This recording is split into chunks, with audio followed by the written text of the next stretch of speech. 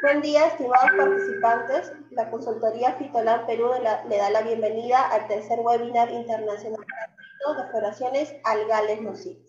Le pedimos la disculpa del caso este, por un poquito la demora del tiempo, pero vamos a dar inicio con, con este webinar. En esta mañana tenemos la presentación de Beatriz Reguera con el tema Dinofisis, formas, comida y sexo.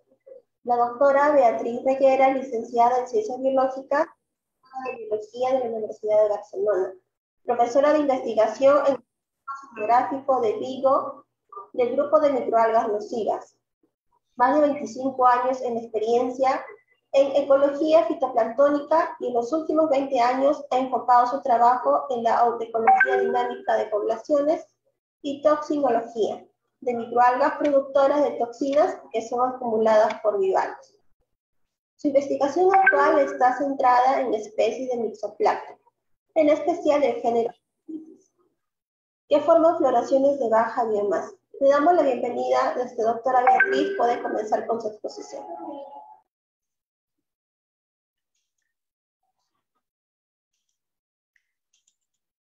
Buenos días, ¿me oyen bien?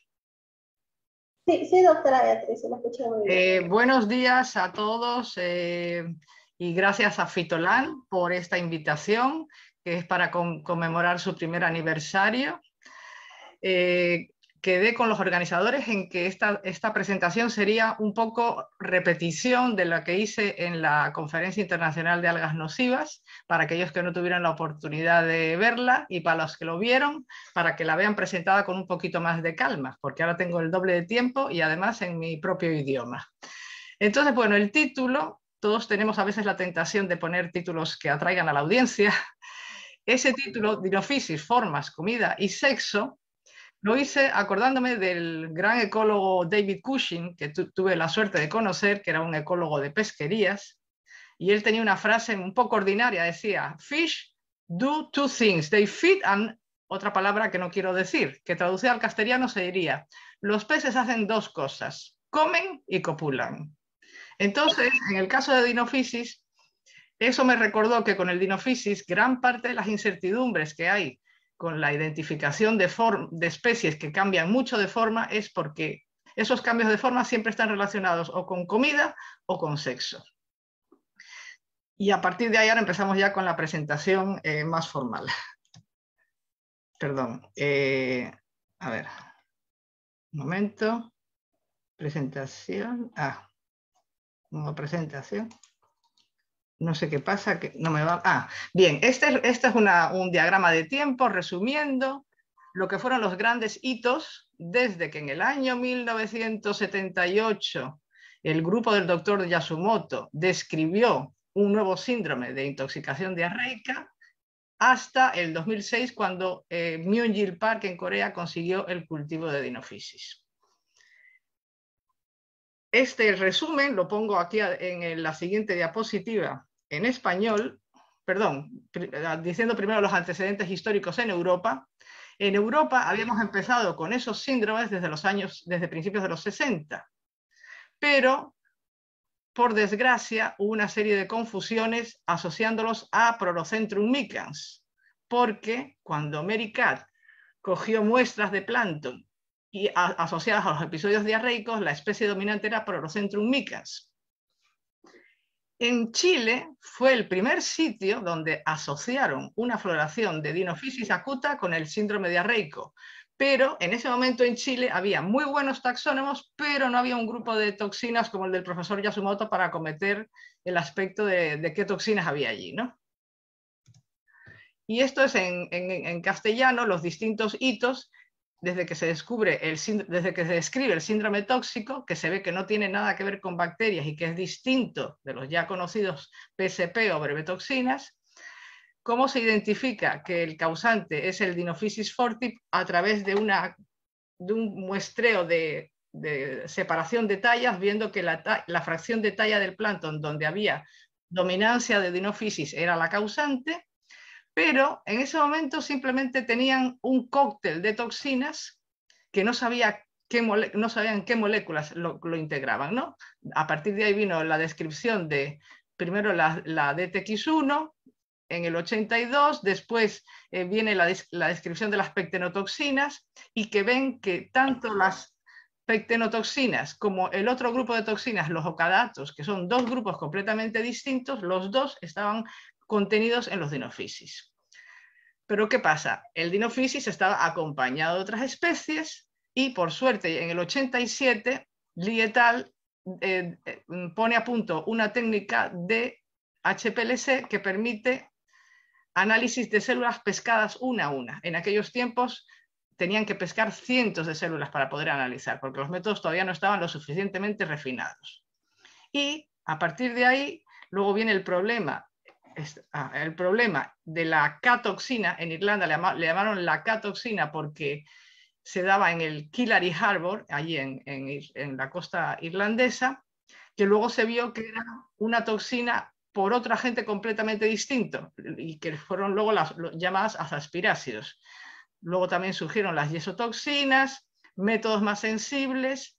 William que en muchos casos dentro de la célula hay precursores del ácido cadaico que hasta que no se hidrolizaba la muestra no se ponían en evidencia.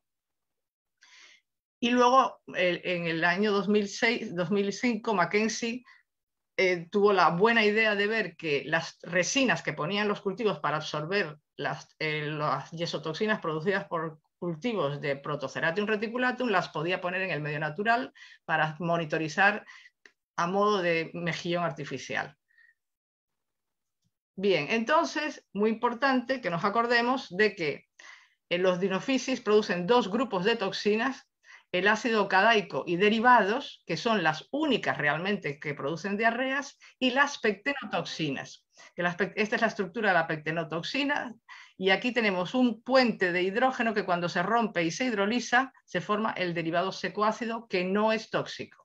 Pero incluso, aunque no se pasara a secoácido, que es una conversión enzimática en los bivalvos, las pectenotoxinas para algunos de ustedes hay la gran noticia de que la Unión Europea ha dejado de considerarlas, de meterlas en la lista negra de productos tóxicos para la salud humana, porque han reunido ya suficientes evidencias de que no son tóxicas vía oral para los humanos ni para los mamíferos en general y han desregulado la PTX, las pectenotoxinas, con lo cual se abre un nuevo campo para gente con dinofisis en los que las pectenotoxinas son el compuesto dominante.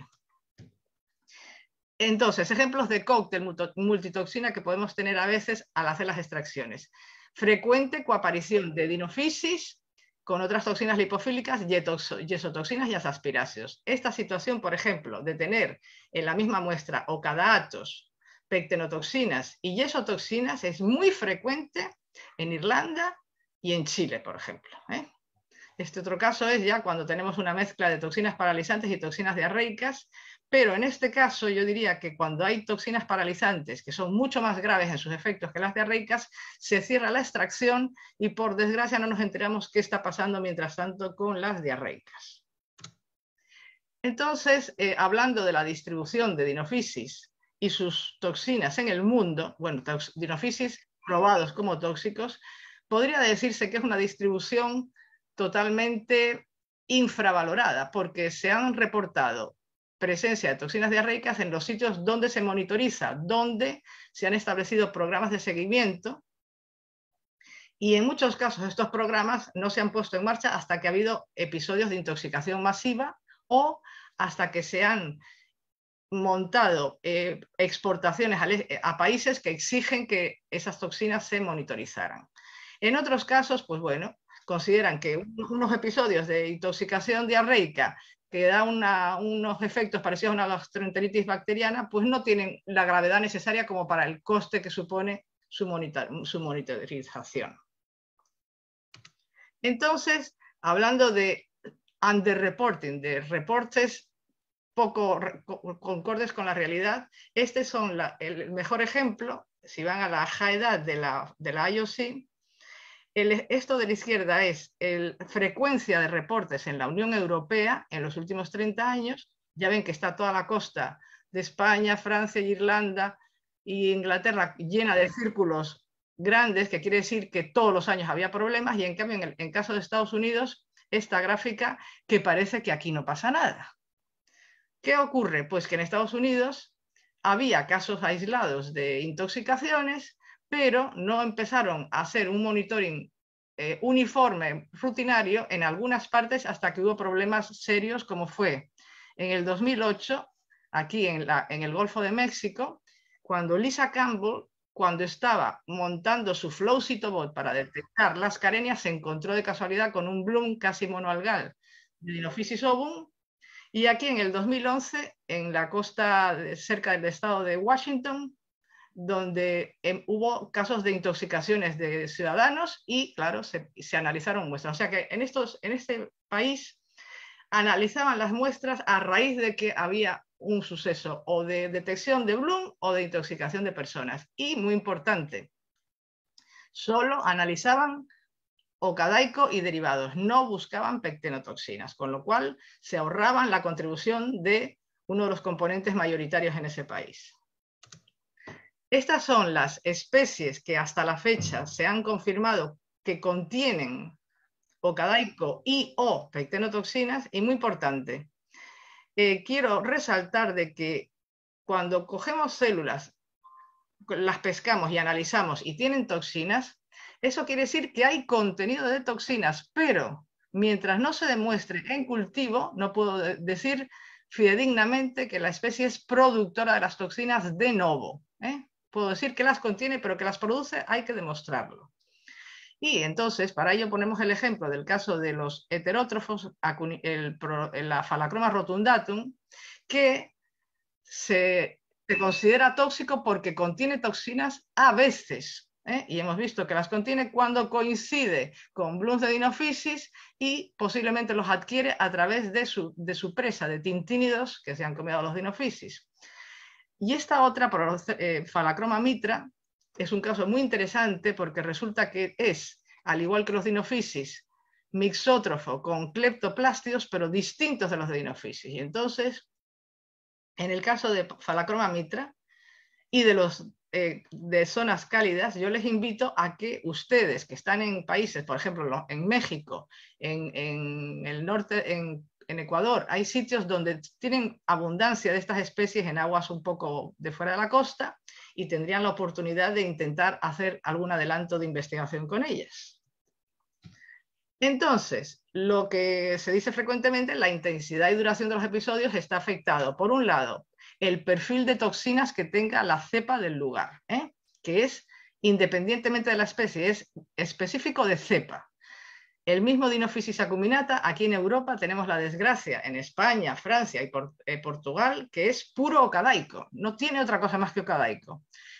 Y esas son las que dan los cierres por diarreica y que no ha variado la regulación. Mientras que hay otros países en que por suerte tienen un perfil de Dinophysis acuminata dominado por pectenotoxinas, con lo cual digamos que ahora en este momento los problemas con dinophysis en esos sitios se les habrían acabado siempre y cuando solo tuvieran de ese tipo de cepa. Por otro lado, eh, hay sitios donde parece que se acumulan, que son puntos calientes, y zonas que son de dispersión. Y por último, la especie que se explota. Porque, por ejemplo, una de las cosas que atenuaba la situación en Estados Unidos es que, por un lado, tienen cepas con mucha pectenotoxina y poco cadaico, y por otro, la, especie explotada era fundamentalmente la ostra, que acumula por lo menos 10 veces menos que el mejillón. O sea que depende de la especie, su nivel de acumulación y de transformación de las toxinas. Y entonces, digamos que hoy día, ya con los métodos que hay, cromatografía líquida acoplada a masas o la ultra performance liquid chromatography acoplada a masas, tenemos que revisar con mucho cuidado los datos históricos previos, ¿eh? mirar cuál era la muestra, cómo se hizo la extracción, cómo se analizó, etc. ¿eh? Hoy día sabemos que no es lo mismo lo que nos sale analizando un arrastre de plancton que analizando células pescadas, que analizando células que hemos pasado por una bomba que con el estrés del, del filtrado han soltado gran parte de las toxinas para afuera. Y todos sabemos ya hoy día que una proporción muy importante de las toxinas de dinofísis pueden estar en la, en la, fracción de toxina disuelta, suelta en el medio, pero que de disuelta a veces nada, sino que está adherida a los agregados de materia orgánica y se recogen en la red. Distribución de veneno diarreico en el cono, suramericano. Este es el mapa que teníamos en el año, cuando hicimos una revisión en el año 2014. Se ve aquí Uruguay, Argentina un puntito, poca cosa en Brasil y eh, sobre todo, claro, Chile porque era la zona más muestreada y, eh, Perú. Pero, ¿qué pasa? Era veneno diarreico según el resultado del bioensayo de ratón. Con el bioensayo de ratón estamos extrayendo toxinas eh, diarreicas, pectenotoxinas, yesotoxinas, etc. Entonces, en el año, en, la conferencia del año 2018, Benjamín Suárez Isla y tal presentaron sus resultados de miles de muestras de las que se analizan para exportación a la Unión Europea en la región de los lagos y sobre todo en la isla de Chiloé. Pues ahí vieron que solo el, un 8,7% de las muestras tenían eh, positivo para toxinas lipofílicas. Y de ese, de ese, total, el 80% correspondían a yesotoxinas ¿eh? y, el, y solo el 17% a pectenos y un 3% a ocadatos de TX1 y azaspiráceos. Y en ningún caso, esta, ninguna de estas muestras estaba por encima del nivel de regulación en cuanto a toxinas lipofílicas. Con lo cual, al haber pasado de ensayo de ratón a análisis eh, cromatográficos, en esa zona, porque no todo el país eh, aplica las técnicas cromatográficas, eh, o no todas las, depende del destino del producto, Aquí ahora resulta que el problema era fundamentalmente de Protoceratium reticulatum y esotoxinas, que no me extrañaría nada que dentro de muy poco también se desregulalicen, y luego, en relación con los dinofisis, vieron que la mayoría se trataba de producción de pectonotoxinas asociadas con dinofisis CF acuminata. Bueno, a esto hay que añadir que en la última conferencia se presentaron resultados de gente del IFOP con cultivos de, acuminata de tres regiones, de Magallanes, Aysén y Los Lagos, y solo producían PTX2. Pero cuidado, eh, no, no, pensemos que todo va a ser solo PTX2 porque hay datos de eh, episodios en Magallanes con aislamiento de células pescadas por Pizarro et al, que hay cepas de, acuminata en ese país que tienen también eh, DTX1 aparte de las pectinotoxinas. Y en Perú ya sabemos, por un trabajo presentado en el, en el 18 a la revista Toxins, que hay toxinas diarreicas, en, los analizaron en las células pescadas, las encontraron en Dinophysis caudata y estas dos que les llaman complejo acuminata. Eh, esta de aquí es una acuminata que me resulta muy poco familiar y claro, con una sola, una sola foto no se puede decir grandes cosas, ¿no? Pero bueno, mirando los análisis de Alcántara et al, Alcántara Rubira, perdón, vemos que tienen, de nuevo, células del complejo acuminata con resultados solo pecteno 2 y en cambio otras que tienen ocadaico y pectenotoxina 2. Por desgracia, los análisis de células pescadas, los autores dicen que mezclaron los dos morfotipos. Eh, yo recomendaría que de ahora en adelante, siempre que puedan tener la oportunidad de aislar células pescadas para hacer los análisis eh, de células pescadas, por favor intenten cogerlas todas con el mismo aspecto, porque así a lo mejor consiguen eh, adjudicar un perfil u otro a los distintos morfotipos. Y entonces, según el trabajo de Alcántara et al, eh, las, que las que tenían o cada, toxina aparte de pterotoxinas, eran las de, perdón, las de aquí del norte, mientras que las otras de aquí abajo solo tenían PTX2. Pero también en cualquier caso les dio que todas las muestras tenían concentraciones por debajo del nivel de regulación. Y esto es lo que contábamos antes de las muestras de, Suárez Isla en Chiloé y, bueno, y otros puntos de los lagos. Y entonces bien, eh, hablan de una distribución, de un gradiente latitudinal. O sea que aquí en esta zona, por aquí en estas primeras estaciones hasta las 10, era donde eran sobre todo la dominancia de yesotoxinas en, perdón, en prevalencia, frecuencia de muestras con isotoxinas y va bajando, va bajando de aquí para abajo. Quizás hay que tener en cuenta también que aquí en esta zona las condiciones son muy distintas que aquí en el norte, más que por latitud, por condiciones oceanográficas. Aquí tenemos un, seno de relón cabí con mucho aporte de agua dulce y aquí hay influencia ya de zonas oceánicas. Entonces, para repetir, acordarnos que el antiguo complejo PSP tenía ocadatos, pectenotoxinas, yesotoxinas y, y luego, por último, los aspirácidos. Y, para complicar más las cosas, sabemos que ahora también están las en el mismo extracto de, toxina lipofílica están las fast acting toxins, que les llaman así porque su actuación al inyectarlas por, por intraperitonealmente al ratón es de que el ratón se muere en, muy poco tiempo, en minutos o segundos.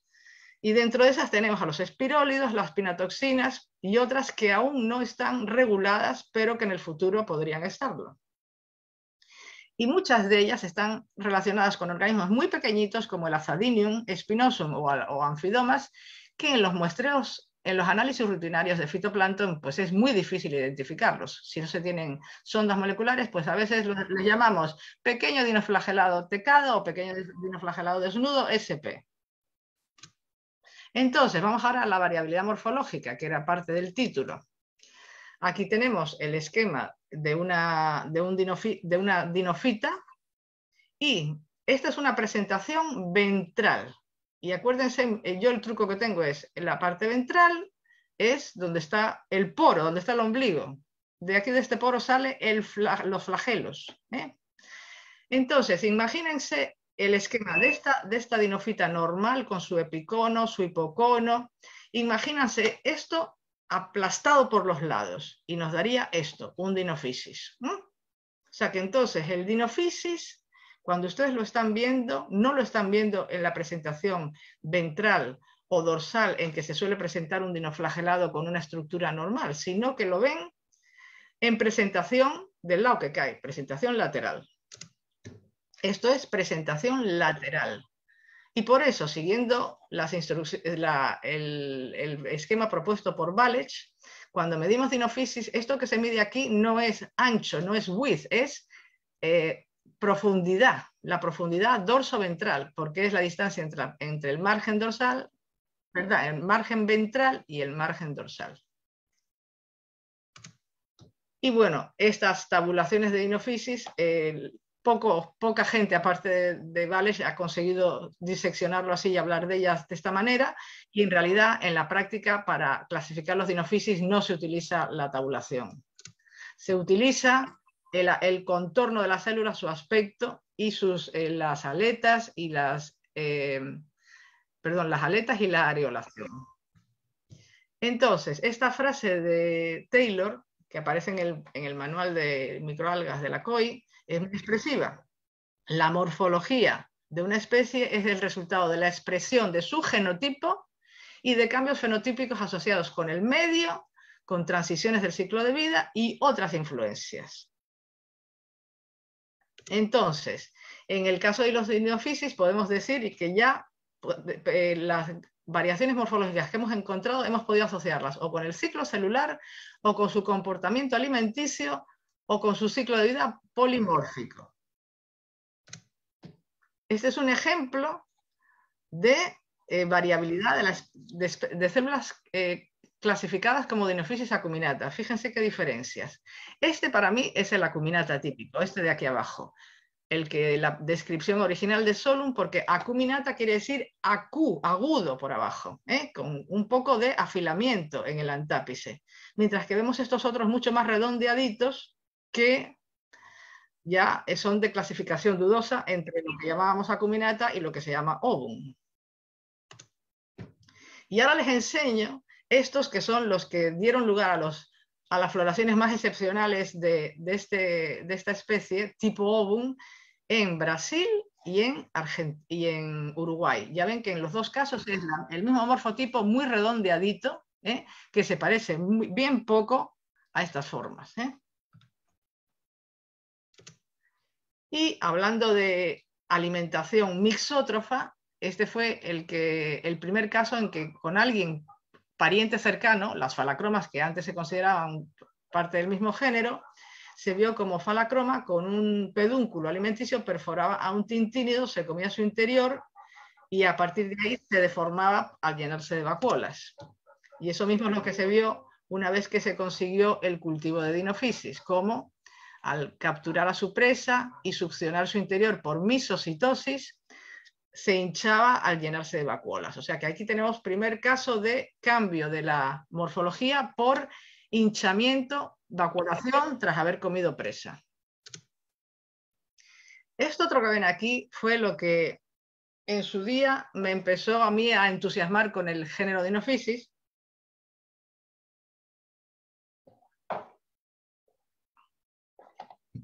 Pero son formas que se ven bien cuando se tiene un bloom muy abundante, ¿no? Entonces, y sobre todo, dependiendo a qué hora se hace el muestreo. Entonces, este muestreo se hacía a una hora apropiada para, para ver células recién divididas de dinophysis. Fue cuando empecé a ver estas diferencias en las listas sulcales. Y estas células que yo en su momento les llamé mini dinophysis acuta, luego vimos a estas células como si estuviera una célula pequeña dentro de la grande, pero en realidad cuando se aplastaban las tecas se veía que una teca era grande y otra era pequeña. O sea que era una división que en vez de formarse la mitad complementaria del mismo tamaño, se quedaba a mitad de camino. Y eso es lo que eh, fue descrito hace ya muchos años, pero con el género Protoperidinium, peridinium por von Stosch como una división depauperante, una división en la que, en que por lo que sea, unas circunstancias adversas o, que, o que llega el momento de la reproducción o lo que sea, no se genera todo el, tamaño debido, sino que es una célula así que da lugar a una forma más pequeña y también con distinta silueta. Porque ya ven que aquí, en vez de ser los lados eh, formando un trapecio, son prácticamente paralelos y más pequeña. Y luego vimos esta otra cosa, que fue ya la definitiva, porque ven que aquí hay un, es una pareja distinta que esta. Aquí están unidas por el margen dorsal y aquí están unidas por el margen ventral y encima con un tubito aquí que parece conectarlos. En el caso de la división, es esa diferencia que se veía en las células recién divididas vegetativamente, nos sirvió luego para usar esto como eventos terminales, parejas, células en división y recién divididas, y poder aplicar estimaciones de la tasa de división con fórmulas eh, complejas del índice mitótico, del modelo de Carpenter y Chan. O sea que esto, esas, esas formas de las listas nos estaban avisando de que había habido división. Aquí tiene un ejemplo de variabilidad morfológica del Dinophysis acuminata, una célula normal con vacuolas, aquí una que parece que está un poco en ayunas, un saculus que para nosotros nunca ha tenido duda con el acuminata, el sáculo forma aluvia de riñón y esto es una célula típica, pequeña, escagia, aunque bueno, no está a escala con las otras. Y aquí vemos el acuminata deformado después de llenarse de, la, de, de, su presa. Más ejemplos de, de, lo que nos encontramos con la división, en el caso del caudata y tripos, que normalmente se mantienen unidas en pareja por bastante tiempo, cuando están abriéndose se las reconoce porque entonces en vez de estar las dos células en el mismo plano están a forma de bisagra. Y las recién divididas, pues aquí pueden ver cómo la mitad posterior de la aleta sulcal izquierda es traslúcida, está recién generada, no, no está reticulada, con lo cual también me está dando señales de que ha habido división aquí. Por todo ello, cuando hablamos de la descripción de las especies, hablando de las retículas en las listas, el tamaño, la forma y demás, yo siempre digo, es como si me quieren comparar el aspecto de un bebé con el de un anciano. Hay distintos estadios de la vida, de la forma, del estado de crecimiento, que hay que incluir en la descripción de las especies y no siempre se hace. Aquí tenemos el esquema de la reproducción eh, sexual, bueno, la vegetativa y la sexual en un ciclo normal de un dinoflagelado, donde cuando llega el momento de la fusión por reproducción sexual se forma un plano cigoto con dos flagelos longitudinales, este se madura dando un quiste de resistencia y luego el quiste sexual, 2N, ese es el ciclo normal, pero en dinofisis y en otros casos este fue, un, este fue el ciclo propuesto en el 2001, que luego tuvimos que hacer nuestras correcciones, ¿no? Pero aquí vemos, en, este, en el 2001 pensábamos que el plano cigoto formaba un quiste, porque habíamos visto unas formas ahí que creíamos que eran unos quistes y que luego daba lugar a las células vegetativas, como cualquier otro dinoflagelado eh, clásico. ¿no? Lo que sí vimos aquí es que la célula vegetativa formaba parejas de células dimórficas con una mitad correspondiente a, a, dinofisis acuta, la otra a una célula con otro nombre, entonces dinofisis dens, luego salían dos células dimórficas y luego lo que excede a la célula pequeña acababa deshaciéndose y, al final nos quedaban dos células pequeñas. ¿Dónde está el Aquí, dos células pequeñas. Pero haciendo incubaciones en pocillos lo que se vio es que las células pequeñas o formaban parejas de, gametos apareándose o, si no se usaban, en pocillos podían crecer a célula intermedia y luego a grande. O sea que digamos que es un, una formación de células pequeñas muy económica, que si no se usan vuelven a, pasar a células vegetativas cuando la ocasión de los recursos lo permita. Esto fue una cosa que puse en la conferencia a modo de, recordar los años anteriores a, a, Park, 2006, cuando Maestrini, que fue el autor de una de una revisión de, una revisión de Dinófisis muy citada, muy, muy buena de leer, decía, no sabemos nada. Cada vez que le decían, ¿qué pasa con los Dinófisis? We know nothing, era su frase preferida. ¿no? Entonces, ya para entonces sabíamos que los Dinófisis eh, tenían una fluorescencia atípica, florecían color naranja, que solo lo hacen el mesodinium, las criptofitas y las cianobacterias, porque tienen ficoeritrinas y sabíamos que en algunos dinofisis, en sus vacuolos habían encontrado restos de, ciliados. Y se dudaba si había o no ciclo sexual, porque había, que faltaban eh, había estadios que todavía no se habían demostrado.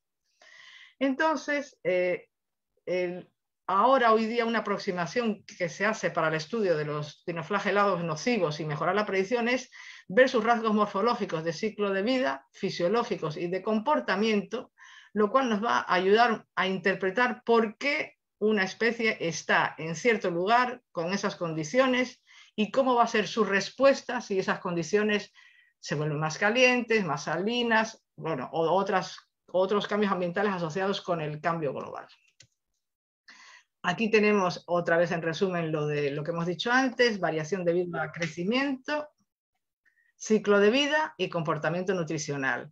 Y bueno, lo bueno del caso es que luego esas mismas cosas que vemos en el que hemos visto en el campo, mirad, estas son unas fotos de Mackenzie en un, en un bloom de Dinophysis acuminata que tiene en un lugar de allí de Nueva Zelanda, en la, en la isla sur, todos los años, crónico, endémico. Y aquí ven lo que yo llamo la célula en forma de piña, que es el único caso en que el dinophysis se presenta con presentación ventral o dorsal, porque está tan cargado de vacuolas que es cuando único se puede ver en esa posición. Y aquí tienen las pequeñas y las parejas acopladas. Y aquí eh, es lo que tuvimos que aclarar después de eh, malas, perdón, interpretaciones erróneas del ciclo que habíamos propuesto en el 2001. En el 2001 habíamos dicho que este paso de aquí, perdón, aquí, perdón, que en este paso estaba viendo una conjugación. Y una conjugación es cuando una célula donante pasa su material nuclear a la receptora a través de su tubo de conjugación. Porque lo hicimos por analogía con Prolocentrum micans. En Prolocentrum micans hay una conjugación. El núcleo de la célula pequeña pasa a la grande a través de ese tubo. Pero luego cuando hicimos tinciones con Green, vimos que resulta que no, que la célula pequeña entraba íntegra en la grande y luego sus núcleos se fusionaban dentro. Con lo cual, la fusión nuclear y celular solo tenía lugar después de ese engullimiento. Y, además ese engullimiento resulta que había un tubillo aquí que funciona como lo que llaman el towing peduncle, el pedúnculo de tracción que utilizan los heterótrofos para arrastrar su presa al sitio por donde se la engullen. Entonces esto es muy curioso porque es lo que podríamos llamar una especie de sexo caníbal. O sea, hubo gente cuando vio esto que pensaban que era canibalismo, dinofisis comiéndose a las células pequeñas de dinofisis, pero no, era reproducción sexual guiando a la pequeña hacia, hacia la grande por la zona de, engullimiento, que en este caso es el cíngulo que se abre como si levantáramos la tapa de los sesos, se la traga y se vuelve a cerrar. Y luego, las formas que habíamos interpretado como posibles quistes, que apareció también en el trabajo de Moita et al. Eh, con el Dinophysis tripos y eh, su, potencial gameto pequeño, Diegensis, resulta que era fragilidium después de haberse comido a un caudata. Se lo come y se deforma adquiriendo la silueta del Dinophysis. Y todo esto, por suerte, se ha podido demostrar en cultivos. Aquí tenéis un cultivo de Dinophysis forti de Nagai et al. del año 2008 y aquí tenemos las tetras, la pequeña, las células en forma de piña cuando han comido demasiado. Y aquí en este trabajo del 2008 fue donde por primera vez se citó, pero en ese momento Nagai no le dio la importancia que se le dio posteriormente. En este trabajo ya Nagai eh, menciona que en el fondo del cultivo veía estos mucílagos y como que estaban los mesodinius ahí atrapados y, los dinofíses alrededor. O sea que ya fue como el preludio de la sugerencia de la mucus trap, la trampa mucosa de dinofisis para capturar a la presa. Esto que vemos aquí es el caso que más dolores de cabeza da en la identificación de dinofisis, el complejo acuminata.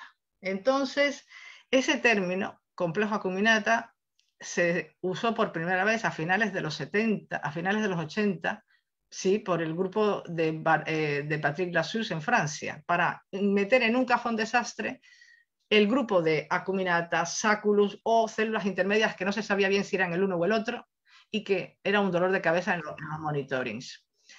Eh, a principios de los años, de los, del año 2000 intentamos hacer separación con sonda, con secuenciación de, de genes marcadores. ¿no?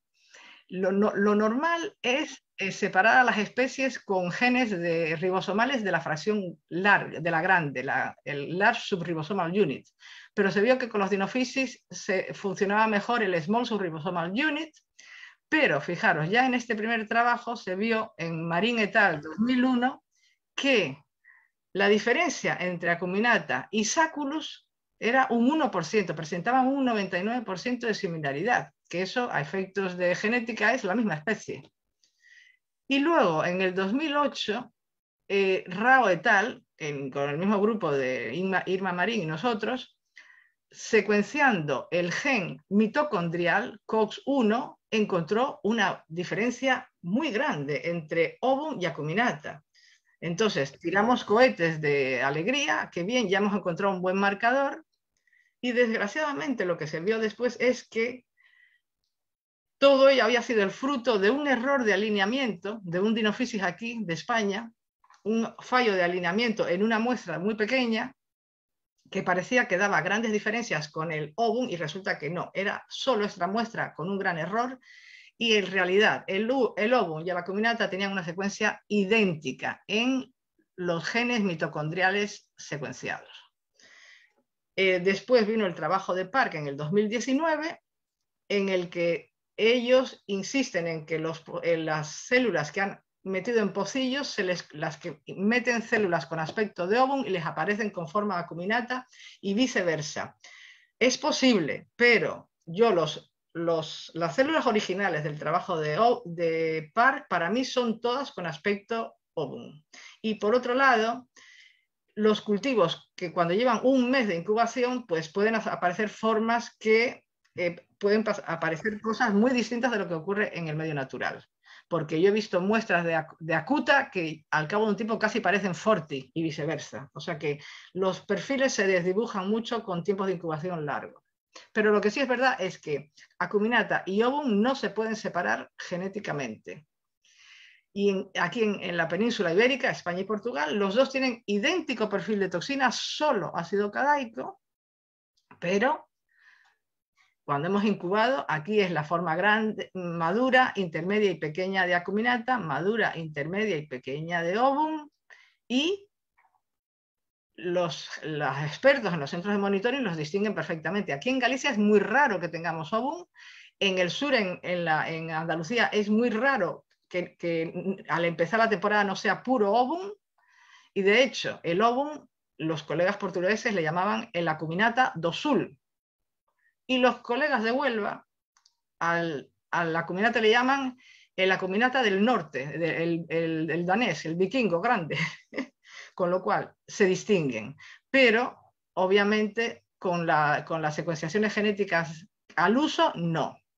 Entonces, una, eh, yo sugiero lo siguiente, que mientras seamos capaces de distinguirlos, le sigamos llamando pues acuminata forma ovo o acuminata forma acuminata o acuminata forma saculus, porque esa forma, si no es genética, entonces es fenotípico, respuesta a unas condiciones ambientales. Entonces me está dando una información ecológica de ambiente y forma, que es una pena perder de la misma forma que seguimos llamándole a las células pequeñas por el nombre de antes, escaji, diegensis, etc.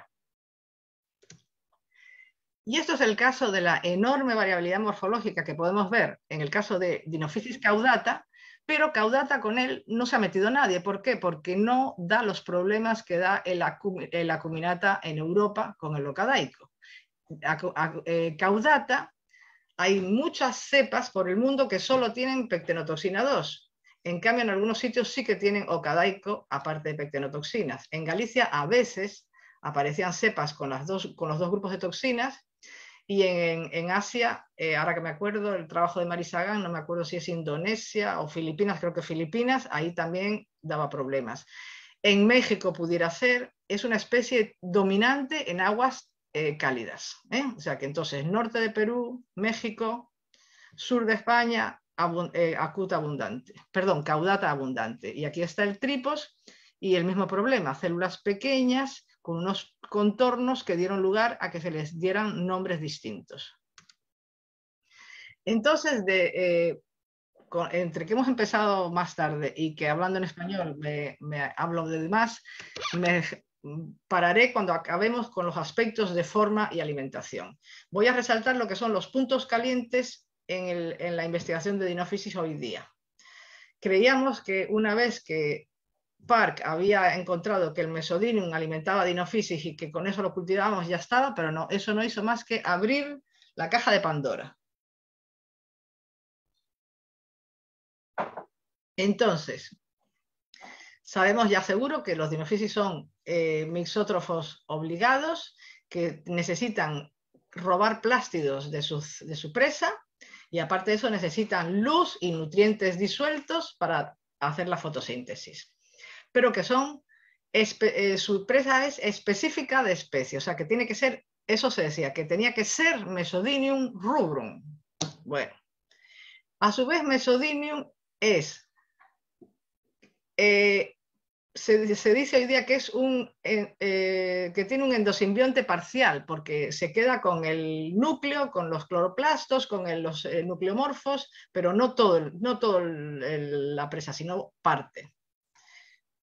Y entonces se decía que era específico de género, porque en, cultivos de laboratorio y en el medio natural, bueno, perdón, en cultivos de laboratorio se vio que Mesodinum se podía cultivar con Teleaulax anfioxeia, pero también con Teleaulax acuta, con Plagioselmis prolonga y Geminifera, criófila. Se decía que eran los criptofitas del clado TPG, que es un grupo de criptofitas con, un perfil pigmentario eh, eh, y otras condiciones que los agrupan en ese clado. Hablando de las fuentes nutricionales de nutrientes disueltos, pues uno a veces se cansaba de oír que el dinofisis, eh, cuando había más nutrientes, crecía más, y, etc. Entonces uno decía, siendo mixótrofo, hay que tener cuidado hasta que no se hagan incubaciones. Entonces, en el medio natural, hace ya bastantes años, si llave et al, fijaros, 2009-2013, vieron que cuando incubaban blooms de Dinophysis acuminata o de Pseudonisquia australis o de Alexandrium catenella, la respuesta con los nitrógenos, con los compuestos nutricionales marcados era muy distinta. Veían que el Dinophysis, el acuminata, no le gustaba mucho el nitrato y en cambio capturaba bien el, amonio y la urea, pero cuando, con un nivel de saturación muy alto, o sea que, eh, perdón, muy bajo. O sea, es una especie adaptada a crecer en ambientes pobres en, nutrientes nitrogenados. Mientras que las pseudonisquias y el Alexandrum catenella eran estrategas de la velocidad, de que, de que toman los nutrientes a gran velocidad.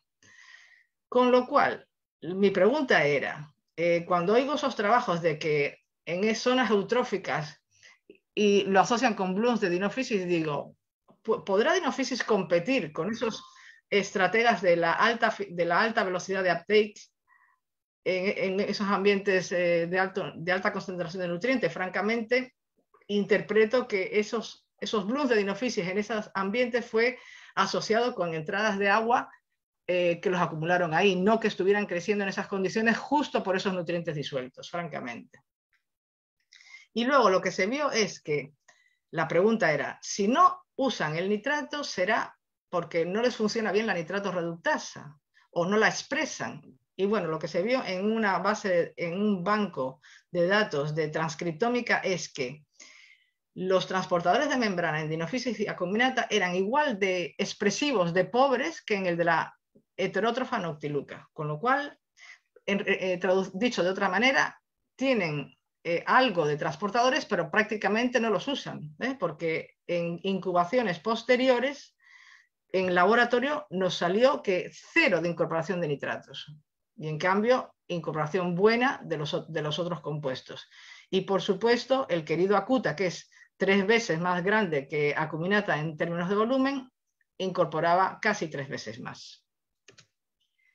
Y esta es una clasificación eh, reciente de los organismos plantónicos mixótrofos. Este grupo quiere bautizar a, los mixótrofos como mixoplancton.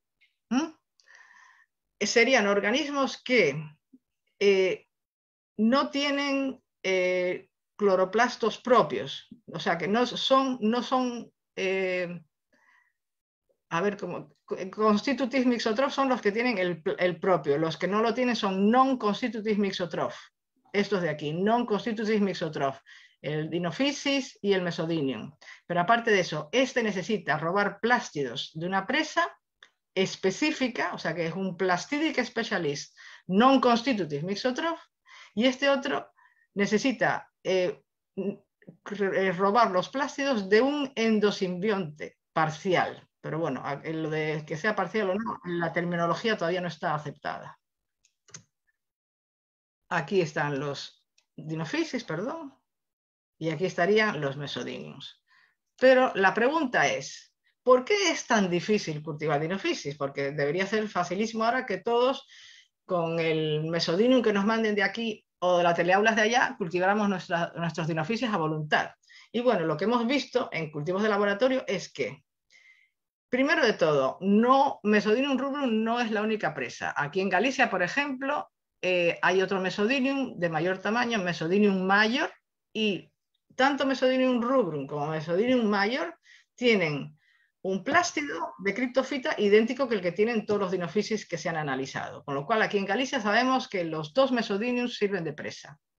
Mesodinium mayor ha sido también identificado como el principal Mesodinium en los del complejo Mesodinium en, Chile y Brasil. Y además ha habido un trabajo reciente en Chile, el grupo de Patricio Díaz et al., que encontraron eh, eh, varias especies de, de dinophysis y ciliados y heliozos con plástidos de otro clado, de clado Rodomonas, Rinomonas, eh, estearótula, un clado distinto.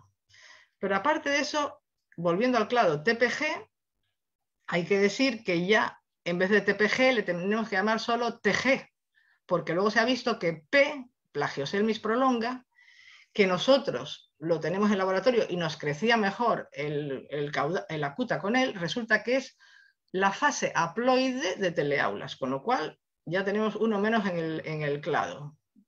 Plagioselmis prolonga es la fase haploide de teleaulas anfioxella y obviamente, al ser fase haploide, tiene otras características ambientales y valor nutricional distinto que teleaulas. Así que a lo mejor cuando vemos una población de acuminata y acuta juntos, dicen, ¿cómo se las arreglarán para repartirse el mesodinium? Pues quizás en la diferencia de estadios esté el secreto. Y luego, ¿cuántos mesodines puede comer? Hemos hablado de mayor, los otros nuevos del clado RRS.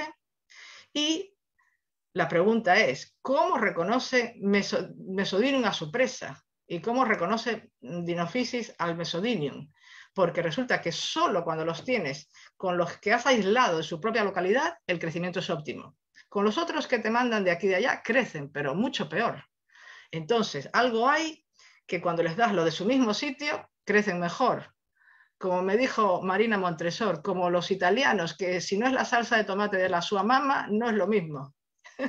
Entonces, ¿cómo reconocen a su presa? Pues no lo sé, me atrevo a sugerir que, al igual que hay un reconocimiento de los parásitos y sus hospedadores por coevolución, pues quizá también los, eh, predadores y sus presas coevolucionan y llegan a reconocer pues algún componente de membrana, algo que les permite identificarlos con más facilidad. Porque, por supuesto, algún reconocimiento tienen que tener para ir a por Mesodinium en un mar con, una diversidad de, de impresionante, ¿no? Entonces, bueno, aquí es eh, para hacer hincapié en la complejidad de querer mm, modelar el crecimiento de los dinofísis, ¿no? Porque tenemos por un lado los, los teleaulas, que crecen muy cerca de la superficie, con una tasa de crecimiento muy alta, la luz blanca, los mesodinios, una situación intermedia, y los dinofísis, que en general los vais a encontrar el máximo cuando están en fase de crecimiento, el máximo en zonas donde llega el el 1%, entre el 1 y el 10% de la luz incidente, o sea que están adaptados a crecer bien con el, azul y el verde.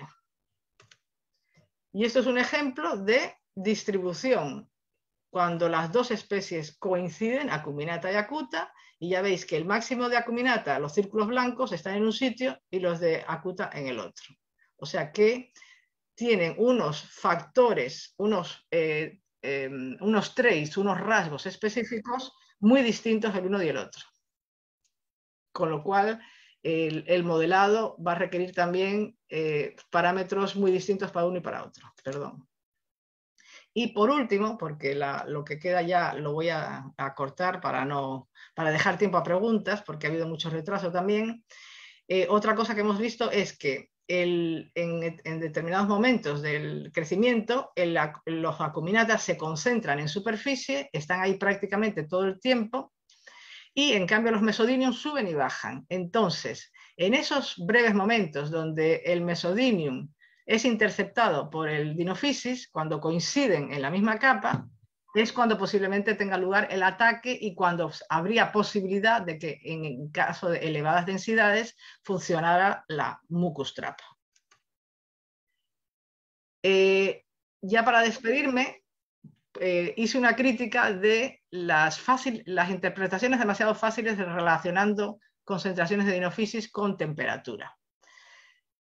Entonces, eh, primero de todo, por favor, cuando demos valores de temperatura y salinidad con las poblaciones de dinophysis, hay que asegurarse de que esa, temperatura y esa salinidad era donde estaba el máximo de dinophysis, no el valor superficial y resulta que el dinophysis estaba 5 metros más abajo.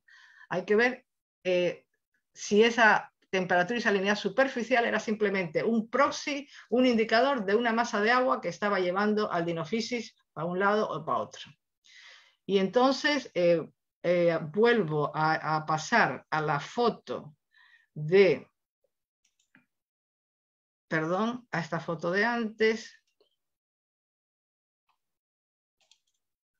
de Proenza, de la, el Dinophysis en Brasil y el Dinophysis en Uruguay, y les invito a que visiten la página web de la ISHA, de la Sociedad Internacional de Algas Nocivas, y vean en los proceedings del Congreso de, Brasil en el año 2016, publicado en el 18, estos dos trabajos. Y entonces van a ver eh, lo que pasa cuando uno asocia dinophysis con una temperatura, ¿eh? porque van a ver Estos fueron los dos, los dos casos de blooms más excepcionales de dinofisis que ha habido en Sudamérica.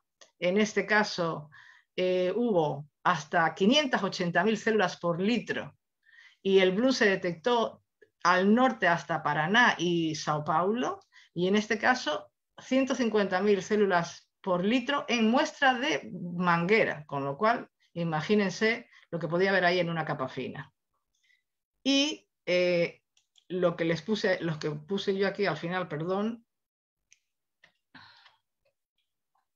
es, en este caso, Silvia Mendejetal 2018 lo, lo asociaron con que había anomalías térmicas positivas eh, en la sea surface temperature de 2 grados centígrados. Y al año siguiente, la misma especie porque, y la misma forma, Provenza et al. lo asocian con menos 4 grados centígrados de anomalía negativa de la temperatura. ¿Cómo se interpreta esto? Pues cuando se lean esos dos trabajos lo verán. En este caso fue un crecimiento in situ en la boca del estuario del Río de la Plata. En la margen norte es donde están los puntos de muestreo de, de Uruguay. Y en este caso se trató, o sea, esto fue la, época de crecimiento primavera-verano y en este caso fue otoño-invierno cuando el bloom fue transportado, el, bloom de acuminata que había crecido en otras zonas era transportado por la pluma del río de la Plata, que ese año hubo vientos excepcionales que lo hicieron que alcanzara esa pluma hasta Sao Paulo.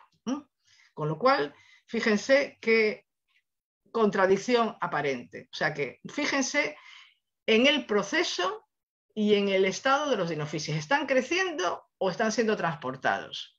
Y se relaciona el proceso con la especie. Y, entonces simplemente pongo la despedida porque así no sufrimos viendo lo del medio que no se presentó. Eh, recomendaciones para los estudios eh, próximos de dinofisis. Necesitamos saber más de la relación dinofisis y su presa. Estamos en pañales en conocimiento de las interacciones biológicas de Inofisis presa y del, del con su presa a la vez. Luego necesitamos más datos que no sean de los sitios donde están los cultivos. Por ejemplo, aquí en Galicia tenemos montones de datos dentro de las rías y muy poquitos de datos en plataforma que es donde muchas veces se inician las poblaciones. En el caso de Acuta, seguro, y en el caso de Acuminata, entre plataforma y la costa. ¿Qué pasa? Que obviamente los muestros en plataforma son caros, son cruceros que si no hay proyectos caros asociados, no se puede hacer. Luego, eh, necesitamos que la información de Mesodinium y de Dinofisis sea a la misma escala de espacio-temporal, la misma resolución. Pero hay que tener mucho cuidado con los métodos de muestreo, porque hay muchos de ellos que destruyen al ciliado al coger los dinoflagelados y fijarlos. Y luego, siempre hay que, si queremos encontrar algo nuevo, hay que explorar en lugares nuevos. Entonces, eh, sabemos muy poco de lo que ocurre en la interfase del Neuston, o sea, en la interfase atmósfera-capa de agua, el Neuston, ahí puede haber cosas muy interesantes que no hemos visto, y en el fondo, muy cerca del fondo, porque ha habido muchas veces máximos de dinofisis que encontramos cerca del fondo que no sabemos interpretar, o porque han sido transportados de fuera y, los detectamos en el fondo, o porque hay situaciones en que de alguna manera se agregan en el, fondo esperando otros, otras situaciones de crecimiento más óptimas. Y bueno, con esto mm, acabo para dar eh, oportunidad a las preguntas. Muchas gracias, ya está.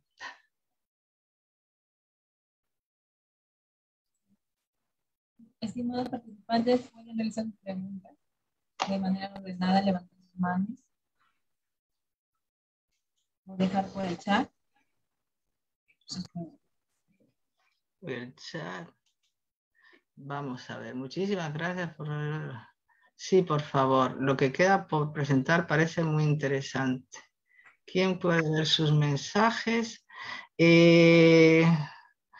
Bueno, por supuesto, eh, pongo aquí el, mi mail para que cualquiera que me quiera escribir a preguntar lo que quiera. Beatriz.reguera arroba IEO.es. Ahí está. Ahí tiene, todo con minúscula, ¿eh? ahí está mi mail, todo con minúscula. Beatriz Reguer, Beatriz.reguera arroba IEO.es. Lo que queda bien. Bueno, pues estamos abiertos. A ver, live. Eh, las preguntas, los que levantan la mano, hace de mediadora la... Eh, sí, a ver, bien. Eh, usted puede, Wilson Mieles ha levantado la mano, puede hacer su pregunta, por favor. Uy, que no se oye bien, ¿eh? No se oye bien. Wilson Mieles ha levantado la mano, puede realizar su pregunta. A ver, Wilson Mieles, sí. A ver, ¿verdad? A ver, perdón si está aquí abajo. Wilson Mieles, por favor, puede este, hacer la pregunta correspondiente. Sí. Puede prender su micrófono si así lo desea.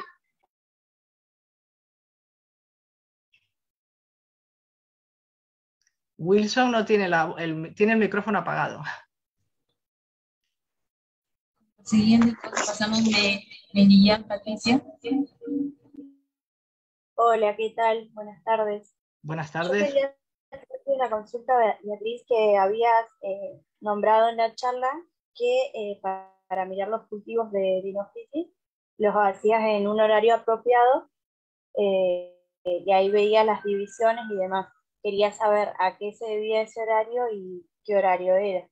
Bien, pues bueno, con, con, todos los dinofisis que hemos estudiado, el paso de noche a día es una señal importante. En el caso de Acuminata vimos que, el, que el pico de división aparecía precisamente en el paso de la noche al día, en el alba, mientras que en el Acuta dos horas más tarde. Pero eso cada uno tiene que verlo en su sitio, porque claro, depende de las horas de luz y oscuridad de cada lugar, el fotoperíodo, etc. Pero digamos que eh, un buen momento es cuando es el cambio de luz a oscuridad para los grupos acuminata y un poquito más tarde para el grupo acuta. Pero, obviamente, cuando se hacen estudios de división celular, y todavía no me conozco las costumbres de las cepas en mi sitio, hay que hacer ese, eh, muestreos de 24 horas en el barco. ¿eh? Muestreos de, en el barco o en un muelle donde esté la población o lo que sea. Muestreos que se cogen cada dos horas y ahí ven la curva de distribución de la división. Si yo, por ejemplo, esa misma muestra que vieron con las parejitas y las recién divididas, la cojo a las 3 de la tarde, ya no veo nada.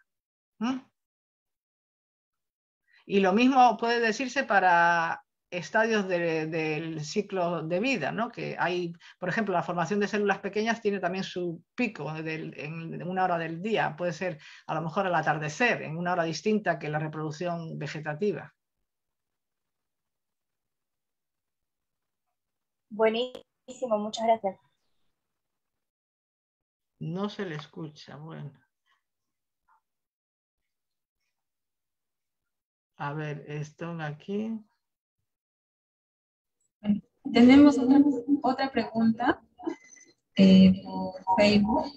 Miguel Ángel nos hace la pregunta, ¿los efluentes pesqueros ricos en hidratos y fosfatos presentaría un crecimiento, crecimiento exponencial en la población de endoflagelados? Perdón, perdón, es que no se, no se oye bien. ¿eh? A ver, estabas hablando de los experimentos. Los efluentes pesqueros ricos en nitratos y fosfatos presentaría un crecimiento exponencial en la población de dinoflagelados? de dinoflagelados, eh, bueno, insisto en que se ve entrecortado, pero bueno, los efluentes de nitratos y fosfatos, eh,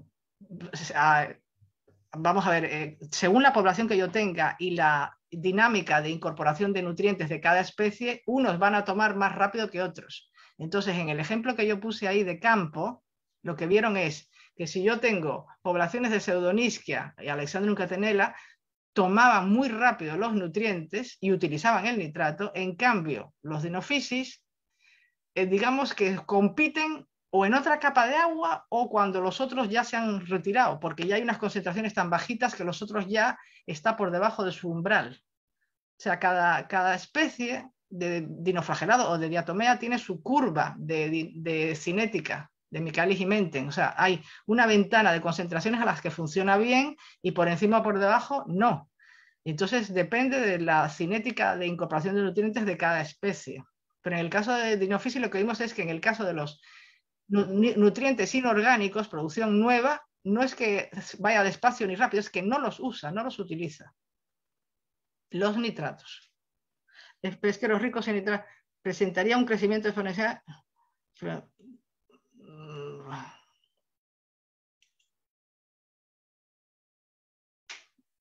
La pregunta de dinoflagelados, es que esta es una pregunta muy difícil de contestar porque hará, estimulará a unas especies sí y a otras no. O sea, la que sea capaz de coger los nutrientes más rápido y esté en condiciones de luz y turbulencia, etcétera, favorable, será el que gane. Por ejemplo, en aguas mezcladas y con nutrientes van a ganar las diatomeas. En aguas estratificadas con nutrientes pues van a, eh, si están los nutrientes en superficie por un efluente, bien, eh, y dinoflagelados adaptados a la, luz y turbulencia donde estén los efluentes. Eso, no sé, podrías hacer un experimento con mesocosmos, con varias especies mezcladas, pero efluentes, efluentes, eh, la contaminación de nutrientes favorece especies de producción de alta biomasa. Las de baja biomasa es otra historia, hay que ver, otros factores. Y en el caso de los dinofisis, a los dinofisis los nutrientes directamente poco les van a ayudar, van a ayudar más a su presa, o sea que un efecto indirecto de más crecimiento de Mesodinium y Teleaulax, de acuerdo, pero a Mesodinium y a Teleaulax se los comen otras muchas especies, no solo, no solo los dinofisis.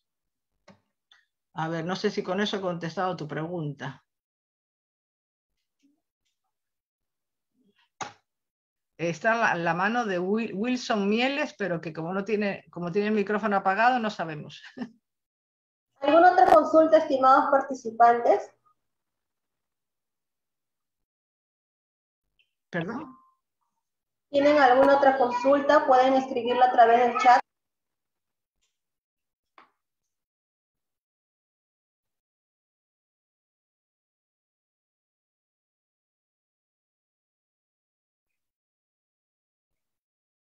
Elizabeth, ¿puede prender su micrófono? Hola, eh, era para preguntar en relación a lo que dijo de, de que, por ejemplo, en las rías bajas, el monitoreo que se hace suele ser dentro de las rías y en plataforma no se tiene nada. Y mi pregunta era si hay alguna forma de saber si el crecimiento es, eh, por ejemplo, en las rías bajas, si el crecimiento es in situ o si se puede saber si ha sido transportado hacia las rías. Sí, eh, vamos a ver, cuando los estudios de tasa de división in situ son precisamente para responder a esa pregunta, si el crecimiento rápido neto se ha debido a, a división o a transporte. Entonces, bueno, en las rías ya está muy, muy, muy bien descrito que cuando hay procesos de downwelling, de hundimiento, que es cuando hay vientos de componente sur, se nos acumula dentro de las rías todo lo que había afuera. Y entonces, cuando tú ves un pico de crecimiento de dinofisis en cuestión de días asociado a los vientos de componente sur, suele ser acumulación física.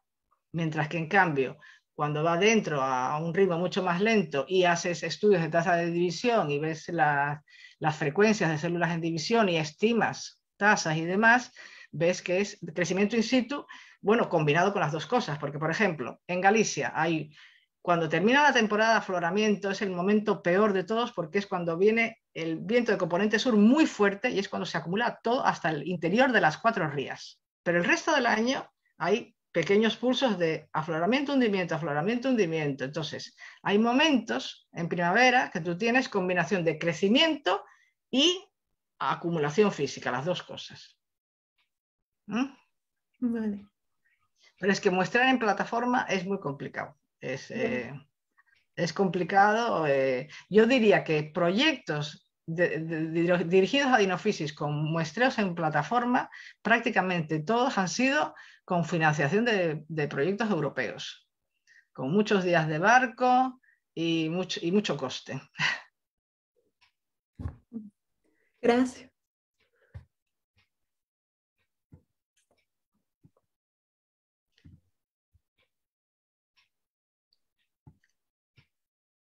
¿Alguna otra pregunta, estimados participantes? Si no, para dar por terminada la exposición de la doctora Beatriz Reguera. Bueno, y que quería despedirme eh, felicitando a, Sheila, una de las fundadoras de Fitolan, que yo creo que bueno, han dado un ejemplo como en, momentos de adversidad, con imaginación y ganas, pues se puede crear una cosa nueva e innovadora y luego en, en el aspecto personal, enhorabuena porque se acerca su boda. Muchas gracias. Muchas gracias, doctora Beatriz Reguera, por su excelente exposición. Vale, gracias. Vamos a dar el pase a la siguiente expositora. Encuentra la magíster Fabiola Villanueva.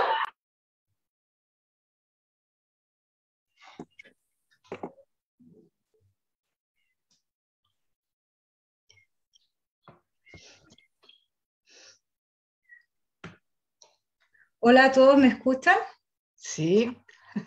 Sí, se le escucha bien, Magister Fabiola Villanueva. Voy a presentarle. La Magister Fabiola Villanueva es bióloga marina egresada de la Universidad Austral de Chile, magíster en apicultura y producción, gestión e innovación. Con más de 15 años de experiencia en FAN en la industria del salmón, desarrollo de proyectos e innovación.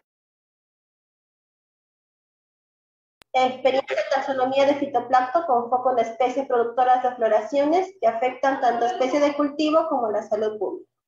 En esta, bueno, tarde va a compartirnos el tema efecto de las FAN en la industria salmonera chilena. Bienvenido, doctor, este magíster Fabián. Bueno, muchas gracias por la invitación. De verdad es un gusto para mí hablar un poco sobre la realidad que tenemos nosotros en Chile con respecto eh, no a la salud pública, a mí me toca contarles un poco de la experiencia con la industria eh, salmonera. Así que la presentación que eh, voy a poner el puntero para poder mostrar con mayor claridad, la presentación que preparé se llama Efectos de las FAN en la industria salmonera chilena. Y bien, bueno, la industria salmonera en nuestro país eh, tiene relevante importancia o tiene una, una gran importancia porque es el segundo producto que más se exporta en Chile después del cobre. Y esto se ha dado con el tiempo porque tenemos condiciones oceanográficas y ambientales que son, eh, o eran, por lo menos en el inicio de la salmonicultura, muy buenas para el desarrollo de esta industria. Em, y la producción a gran escala de salmones de cultivo fue eh, iniciada en la década de los 80 y se produce todo un, aumento, una explosión de, esta industria en, el año 1986. Desde ahí en adelante hemos tenido salmones eh, de cultivo y cada vez creciendo y creciendo más, iniciándose la décima región en nuestro país. Ahora, no exento de problemas, eh, con el paso del tiempo hemos tenido también algunos eh, inconvenientes en los peces de cultivo que nos han atacado enormemente, por ejemplo, enfermedades parasitarias como es el caso del Calibus, enfermedades bacterianas, virales e infecciosas como son eh, Piscirriquetia salmonis con SRS, BKD, HSS, ISA virus, entre otras enfermedades de agua de mar, también en agua dulce, que afectan a los peces de cultivo, enfermedades branquiales que mm, son bastante complicadas, como por ejemplo amebiasis, tenacibaculum, CGD, que es el complex deer disease, del que se habla mucho acá en Chile, pero eh, no voy a hablar de ninguno de esos, voy a hablar de los estresores ambientales branquiales, como son el oxígeno, las floraciones algales nocivas, y bueno, a, grandes rasgos lo que pasa con algunas especies de zooplancton también que están dando eh, vueltas siempre en la columna de agua y generan pérdidas importantes para la industria. Ahora, ¿qué es una floración algal nociva? Yo creo que eh, cuando uno piensa en poder definir algo, mientras más básica es la definición, más nos cuesta definirla. Entonces, eh, solamente eh, a modo de, introducción en la definición de FAN, son eventos naturales que se producen, ¿cierto?, en los cuerpos de agua, que algunas veces logran producir alguna coloración, ¿ya? y están formadas o pueden ser formadas por diferentes especies de fitoplancton que cuando alcanzan o encuentran sus condiciones óptimas, eh, por ejemplo, estabilidad en la columna de agua, eh, un aumento de la radiación solar eh, y presencia de nutrientes que son importantes para ellos, logran alcanzar ciertas concentraciones y esto puede tener efecto en la salud pública, por ejemplo, en el, en el, caso de aquellas especies que son productoras de venenos o de toxinas, pueden también afectar el valor recreacional de un lugar y también pueden afectar a nuestra agricultura. En el caso, por ejemplo, de Chile, nosotros que tenemos eh, un, cultivo de, de mitílidos importante, pero también tenemos un cultivo de eh, salmones, que es muy importante.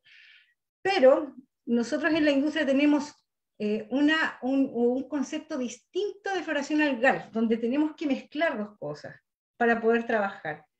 Entonces tenemos nuestro propio concepto de floración algal nociva en la industria.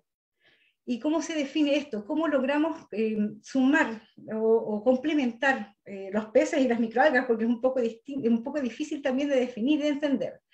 Nosotros conocemos como floración algal nociva en la industria salmonera a todas aquellas microalgas que, bueno, que hacen lo mismo, producen floraciones dependiendo de las condiciones óptimas del ambiente y que logran generar algún efecto nocivo en los peces de cultivo, que van desde el estrés e inapetencia hasta la mortalidad masiva. Es decir, cualquier microalga que logra causar un cambio en la conducta de los peces es nociva. Eso es lo que nosotros entendemos como definición de una microalga o de una microalga tipo FAN. Y esto eh, va a depender de lo que el pez pueda soportar. Entonces, ¿qué hacíamos nosotros? Eh, bueno, acá hay, una lámina donde se muestran algunas especies FAN. Nosotros acá en Chile tenemos una lista bastante extensa de especies que sabemos que son productoras de daño para la industria. Entonces tenemos eh, diatomeas eh, que causan daños mecánicos, los vamos a ver después, y algunos fitoflagelados que causan daños más eh, relacionados con estrés oxidativo o daño tóxico. Nosotros antes lo que hacíamos, antes, no estoy hablando de hace muchos años, pero antes lo que hacíamos los laboratorios, los analistas, era eh, revisar el agua y mirábamos qué especies encontrábamos, ¿cierto? Hacíamos un, una lista, un checklist de especies, eh, veíamos qué efecto podía causar en los peces, contar por ml y entregar un informe. Pero esto no tiene ningún sentido. Esto no tiene ningún sentido si no sabemos nosotros eh, la condición de los peces. Por ejemplo, si acá nosotros no tenemos eh, claridad con la especie que tenemos en cultivo, no tiene sentido lo de acá nosotros necesitamos saber qué estamos cultivando. Por ejemplo, un salmón cojo funciona distinto o se comporta distinto que un salmón salar o una trucha, que son las especies salmónidas que tenemos actualmente en cultivo en nuestro país. La edad del pez también es importante porque eh, el pez en, la industria, nosotros datamos la edad en peso. Entonces hablamos nosotros acá, eh, por ejemplo, un pez de 800 gramos, un pez de 200 gramos, es distinto el comportamiento a un pez de 4 kilos. Entonces eso también es importante cuando nosotros vemos esta, eh, esta parte, la parte de fitoplancton, la condición sanitaria, igual, porque un pez que está sano va a soportar eh, mayor cantidad de acá, de este lado, de las microalgas, eh, que un pez que está en alguna condición sanitaria negativa, por ejemplo, que esté enfermo con SRS, que tenga ISA o mucha carga de cáligus, etcétera. Y las condiciones de cultivo también son importantes porque eh, cuando hablamos de condiciones de cultivo, eh, eh, acá en la industria lo que se hace mucho, por ejemplo, son manejos, manejos operativos sanitarios, por ejemplo, los baños contra cáligos que van a estresar finalmente a los peces y la condición de estrés va a generar que puedan soportar una menor concentración de microalgas en el agua. Por eso siempre es importante, y nosotros hemos adoptado este término de floración algal nociva, donde se engloban las dos, los dos actores principales de estas floraciones de acá de Chile, eh, contemplando tanto la microalga como lo que tiene que ver con el pez. Y por eso trabajamos muy en conjunto con los veterinarios de la industria, porque ellos son los que ven esta parte y nosotros vemos la parte ambiental. Entonces, hemos logrado tener un buen trabajo y buenos manejos, o por lo menos mejorando los manejos eh, una vez que hemos ya aprendido a comunicarnos mejor entre las dos áreas. Ahora, cuando hablamos de efectos nocivos de una floración algal nociva, ¿cierto? Eh, podemos hablar primero desde eh, estas microalgas que producen estrés. Y el estrés, el primer síntoma de estrés que tenemos en los centros de cultivo es el problema de, alimentación de los peces. Las mortalidades son la última cosa que podemos, que podemos eh, esperar, pero también se presentan y todos los años tenemos algo de mortalidad producto de, microalgas. Es, es una, una, situación bastante eh, ya recurrente. Cada año tenemos algún evento fan. También se produce hipoxia porque ustedes saben que cuando, como son plantitas, en las noches ellas eh, producen CO2 y esto eh, trae algún problema bastante grande eh, a nivel branquial y en el día, como ven fitoplancton, producen mucho oxígeno, mucho más notorio en estas especies que producen grandes biomasas. Entonces, cuando tenemos mucho oxígeno en el agua, tenemos problemas de sobresaturación de oxígeno y esto causa finalmente embolias y otro tipo de efectos a nivel branquial.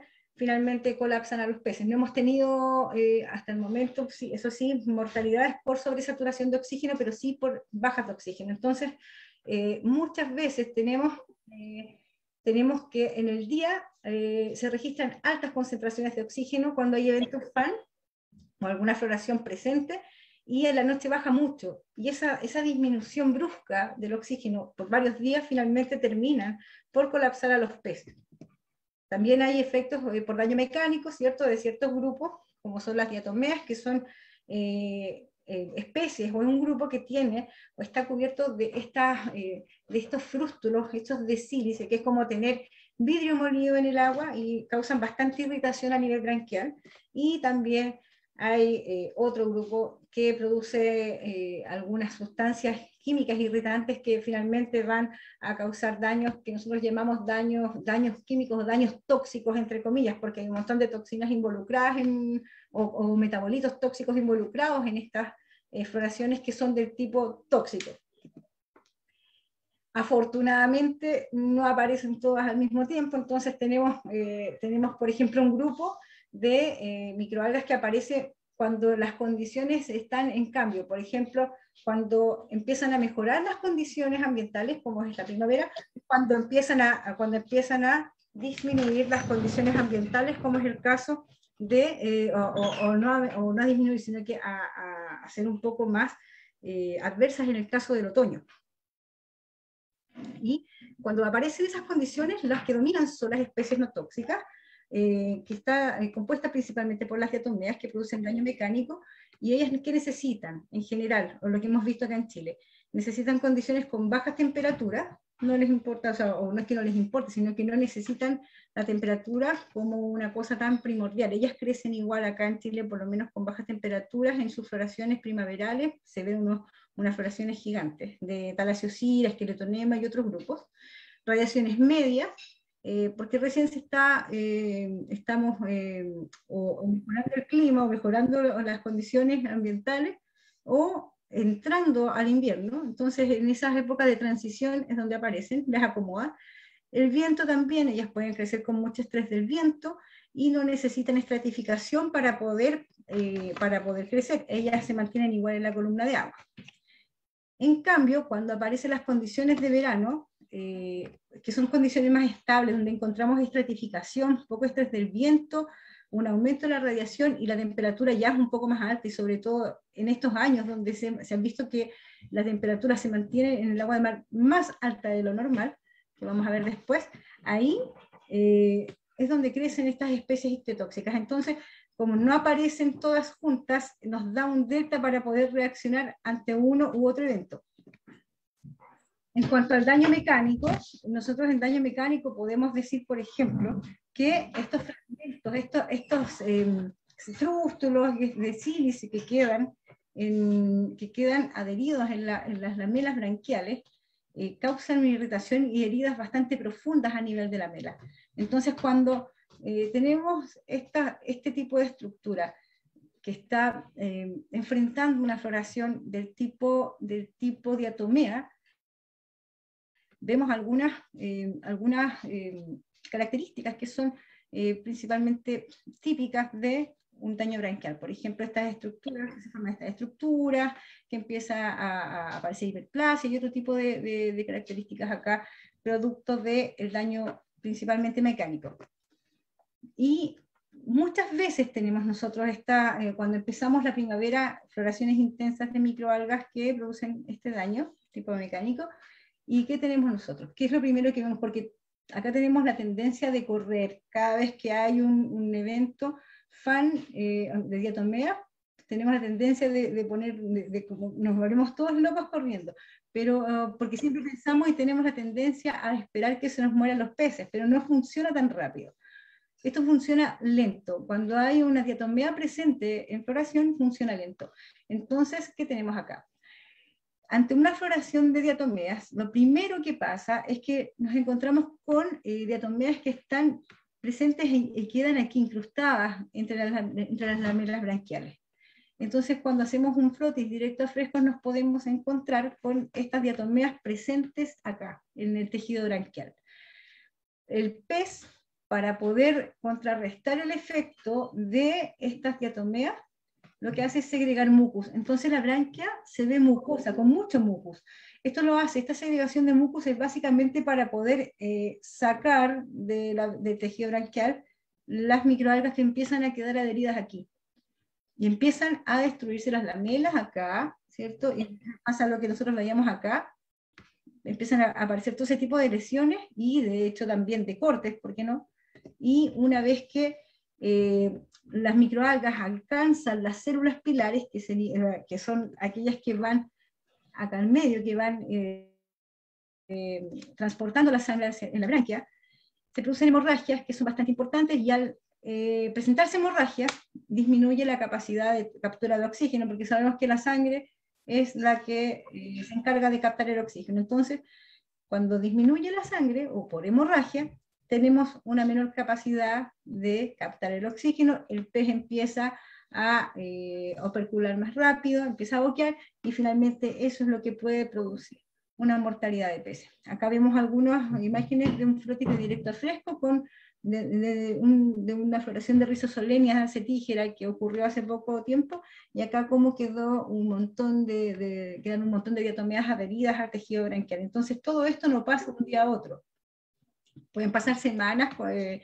eh, los peces enfrentados a este tipo de floraciones y eh, finalmente, finalmente no, no, no pasa nada, o sea, no pasa nada hasta que empiezan a pasar las semanas y ya eh, empezamos a visualizar este tipo de lesiones y este tipo de, características en las branquias. Cuando hablamos después de, compuestos ictetóxicos, bueno, ahí se sabe que hay muchos compuestos ictetóxicos, entre ellos están los famosos PUFAS, los ROS, que son estas especies oxígeno reactivas, y también las toxinas propiamente tal, eh, o ficotoxinas. Acá en Chile, la verdad es que no se mide nada. nosotros no tenemos la capacidad para eh, ni pufas, ni ROS, ni ficotoxinas, ni nada. Entonces a todo esto se le llama compuesto químico irritante. Es más fácil para nosotros eh, poder explicar que los peces se mueren por toxinas en general, aunque son compuestos tóxicos que sabemos que son distintos, a tratar de explicar que, eh, que, es un pufa o que es un ROS, qué sé yo, porque en Chile no, no, tenemos la capacidad de medición. Solamente en Chile se miden toxinas marinas, como BPM, diarreicos, etcétera, pero no se mide nada, eh, nada más. Estas son cosas que hemos aprendido hace pocos años. ¿Y cómo funciona? Cuando tenemos una floración, por ejemplo, de algo tóxico, cuando tenemos una floración de, le vamos a decir tóxico de aquí en adelante, pero cuando tenemos una floración de algo tóxico, por ejemplo, una carenia, una alexandria catenela, tonela, que nos trae bastantes, bastantes problemas, lo que pasa es lo siguiente, la branquia tal cual queda, como está aquí, esta branquia tiene que enfrentarse a la floración de verano. Y la floración de verano está caracterizada siempre porque aparece algo que produce estas toxinas que matan peces. Entonces, ¿qué hacemos nosotros? Alimentamos los peces, ¿cierto?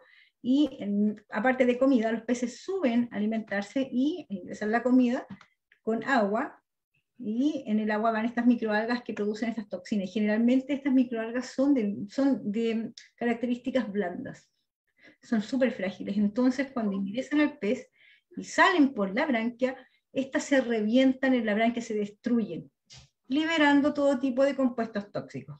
Una vez que se, se destruye el pez empieza a sentirse mal, hiperventila, por lo tanto más agua entra y más rápido y más células se eh, van reventando a nivel branquial y eso produce finalmente el colapso del pez.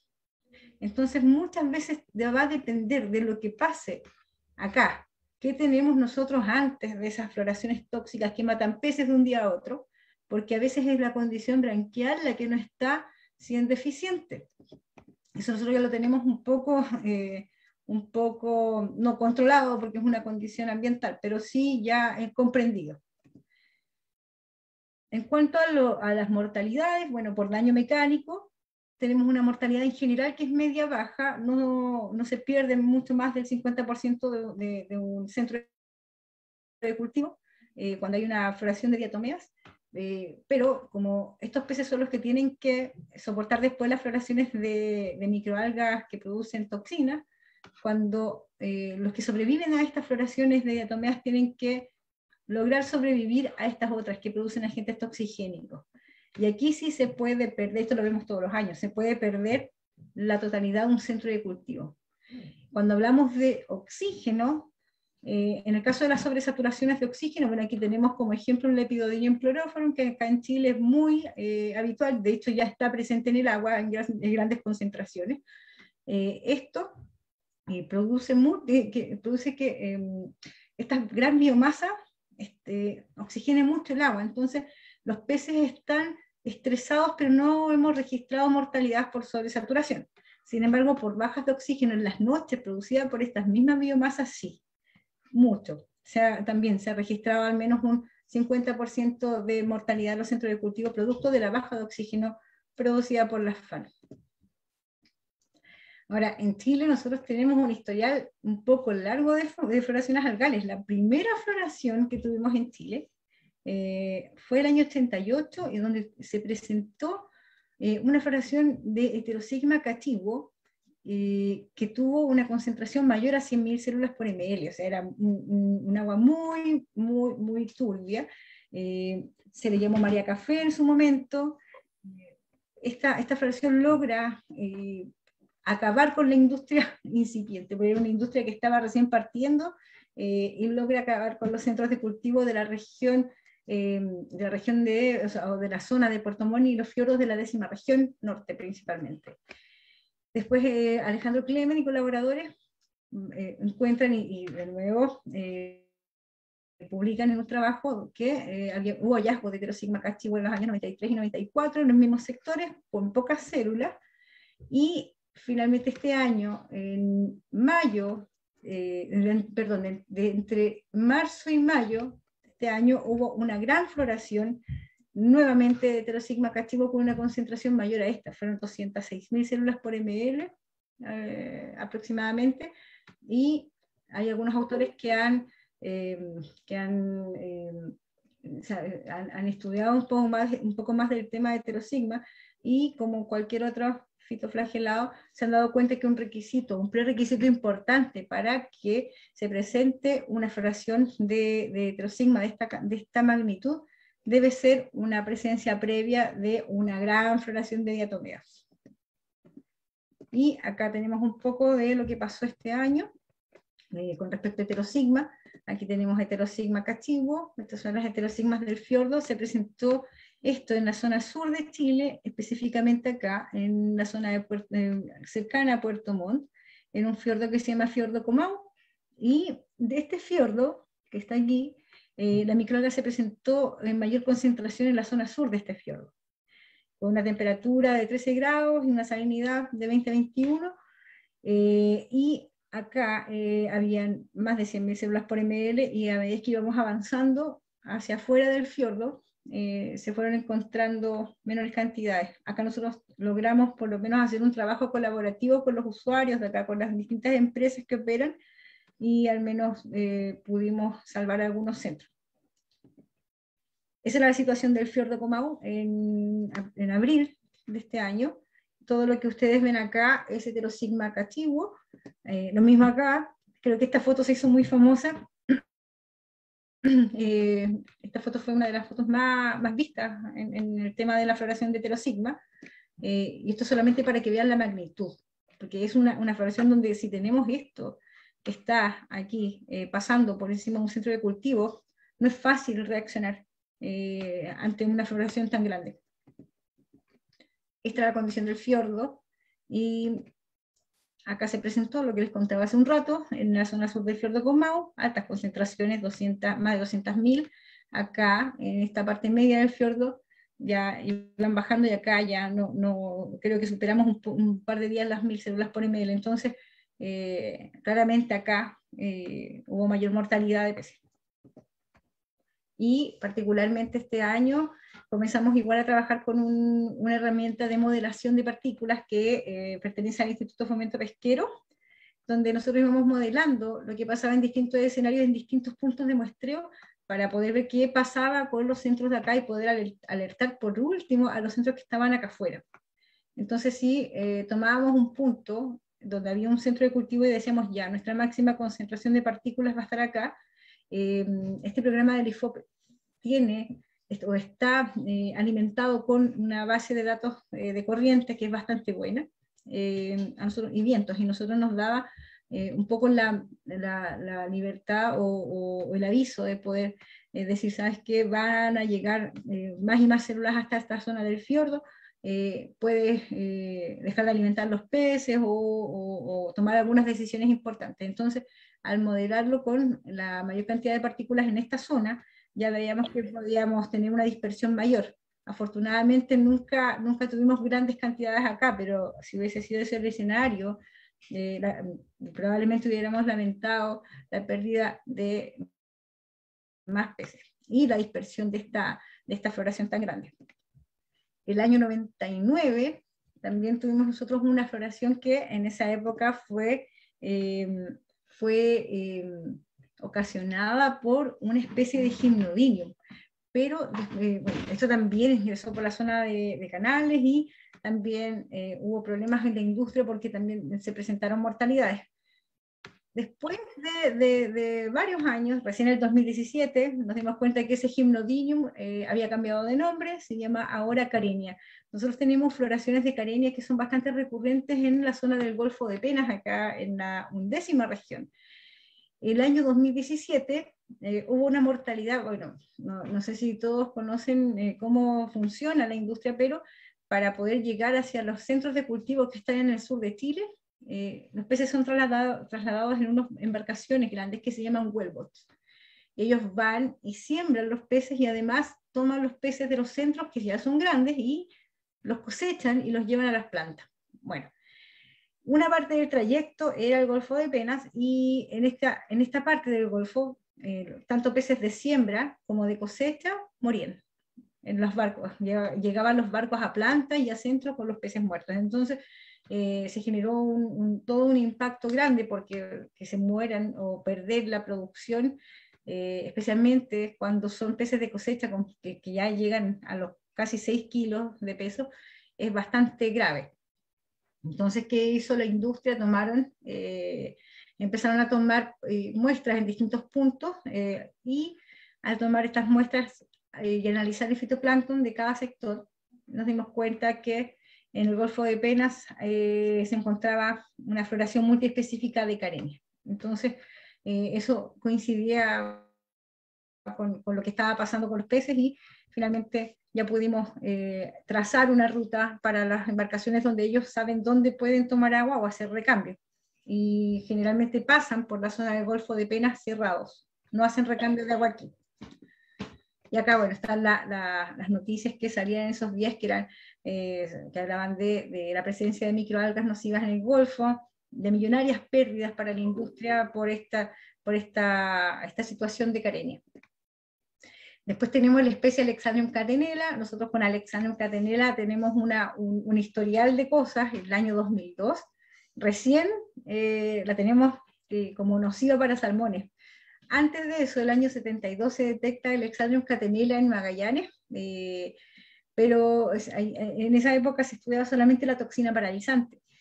No habíamos tenido eventos de mortalidad hasta el 2002, donde eh, se vieron las primeras pérdidas en la industria salmonera en la undécima región por la presencia de esta microalga, después en el año 2006, perdón, En el año 2006, nuevamente, tuvimos pérdidas por Alexandrium catenella en la industria, lo mismo en la, en la undécima región, y el año 2009 tuvimos una, una floración también de Alexandrium catenella eh, en el área de Melinca, que aparte de ser muy tóxica, también generó grandes pérdidas para, para la industria salmonera. Eh, y hasta ese año, por lo menos, ya, esto fue posterior al virus ISA, recuerden que el virus ISA fue 2007-2008, después tuvimos la, el impacto de Alexandrium, entonces había, eh, habíamos sido muy golpeados por, la, por, por todo lo ambiental. Pero en el 2016 nosotros tuvimos una floración, una floración grande de Alexandrium catenera. Yo creo que es la mayor o la más grande floración que hemos tenido. Eh, tuvimos un evento de mortalidad que voy a comentar un rato más, eh, de peces por cebo chatonera en Puerto Montt, y una vez, o sea, en toda esta área hubo cebo chatonera, y una vez que se murió todo, el pez de acá, aparece, por, por cebo chatonera, aparece Alexandrium catenera ingresando por el canal de Chacao.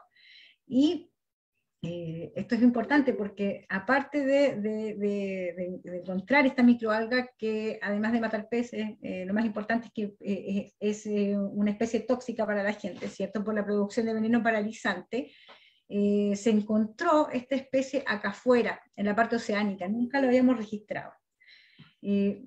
Por dar algunos ejemplos, en, Osorno, la gente contaba que había perritos, eh, perros muertos en la playa, perros que se alimentan de mariscos. Entonces era muy raro. En Cucao, que está como en este sector, también había varios efectos que, que, hacían eh, presagiar que había alguna microalga tóxica o algo estaba pasando en el agua.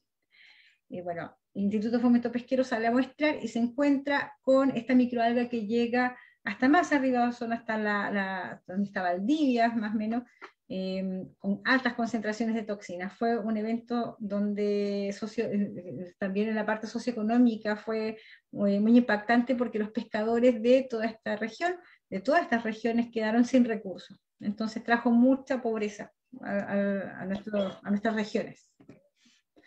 El año 2018 nuevamente, se, eh, Alexander Catenela, la undécima región, pero esta vez, esta vez ya no nos pilló tan desprevenidos como el año 2009, eh, esta vez Alexandrium Catenela eh, se concentró en los barrios de la undécima región, específicamente en un barrio que se llama 22D. Acá la, la, industria está organizada por barrios, por eso se habla de barrios, no de centros, ni, ni de sectores, es un barrio. Es un barrio donde, o un sector de, de esta zona de canales y fiordos donde hubo algo de mortalidad, pero eh, gracias a la coordinación esta vez de las empresas que compartieron sus datos, se logró eh, tomar decisiones en conjunto que permitieron eh, disminuir eh, las mortalidades y no tuvimos mortalidad masiva por primera vez. Siempre hay una mortalidad masiva, o antes de eso las había, pero ya por lo menos ahí accedieron todos a compartir información, mapear, etc. Después tenemos otra complicación más nosotros en Chile, que es la famosa pseudochatonela, eh, existen dos especies a todo esto de pseudochatonera, tenemos verruculosis farcinen, en Chile tenemos las dos. La primera detección de esta microalga fue en Cholbo, en Hornopirén, en la décima región, en el año 2004, y después hubo eventos de esta misma microalga los años 2005, 2009 y 2011, pero en 2016 se generó, se provocó, se produjo, apareció una floración intensa de pseudochatonela que alcanzó los primeros días de marzo, entre fines de febrero y principios de marzo, una concentración histórica de, de 22.735 células por ml. Y de todos los centros involucrados en, en estas altas concentraciones, solamente uno sobrevivió. El resto, eh, bueno, ahí está, las formas de pseudochatonela, porque es una microalga pleiomórfica, o sea, no tiene una forma definida. El resto de los peces, todo, todo se, se perdió. Peces de cosecha se perdieron, peces de siembra, peces de traslado, todo tipo de, de, peces se perdió. Entonces esto fue como lo que gatilló también un, antes y un después en la, industria, en, en, la industria en el tema de las floraciones algales nocivas. Nosotros tuvimos acá un remesón grande. Posteriormente se presentó en Chiloé con algunas mortalidades asociadas, pero ya como conocíamos un poco más de la microalga, eh, pudimos también eh, salir a mostrar en más puntos, entonces ver más o menos eh, cómo se comportaba la microalga, muestreos, aparte de muestreos diarios en, profundidades, eran muestreos a distintas horas, entonces hubo un par de clientes, también un par de, de, productores de salmón que salieron a sobrevolar, a muestrear, etcétera, y, pudimos un poco menguar las mortalidades o disminuir la, la, porque no se pueden, eh, no se pueden evitar, pero se pueden disminuir. Lepidodinium chloroforum también para nosotros es una microalga que si bien es cierto no es tóxica, eh, pero ella produce eh, una biomasa tan grande que es capaz de eh, alterar los niveles de oxígeno. En las noches los baja mucho y en el día los sube mucho, entonces esto produce un estrés grande en los peces. Además, dentro de, de, las estructuras que hemos encontrado en el epidodinium, forman estas, estas células de aspecto circular que aparentemente serían estructuras similares a quistes, que van formando por fuera una capa mucosa, se adhieren entre ellas y forman estos grumos que al final del día van a obstruir la branquia de los peces. Entonces, cuando uno quiere hacer un, directo fresco en branquia, encuentra manchones verdes cada vez que hay una floración de Lepidodilium chloroform.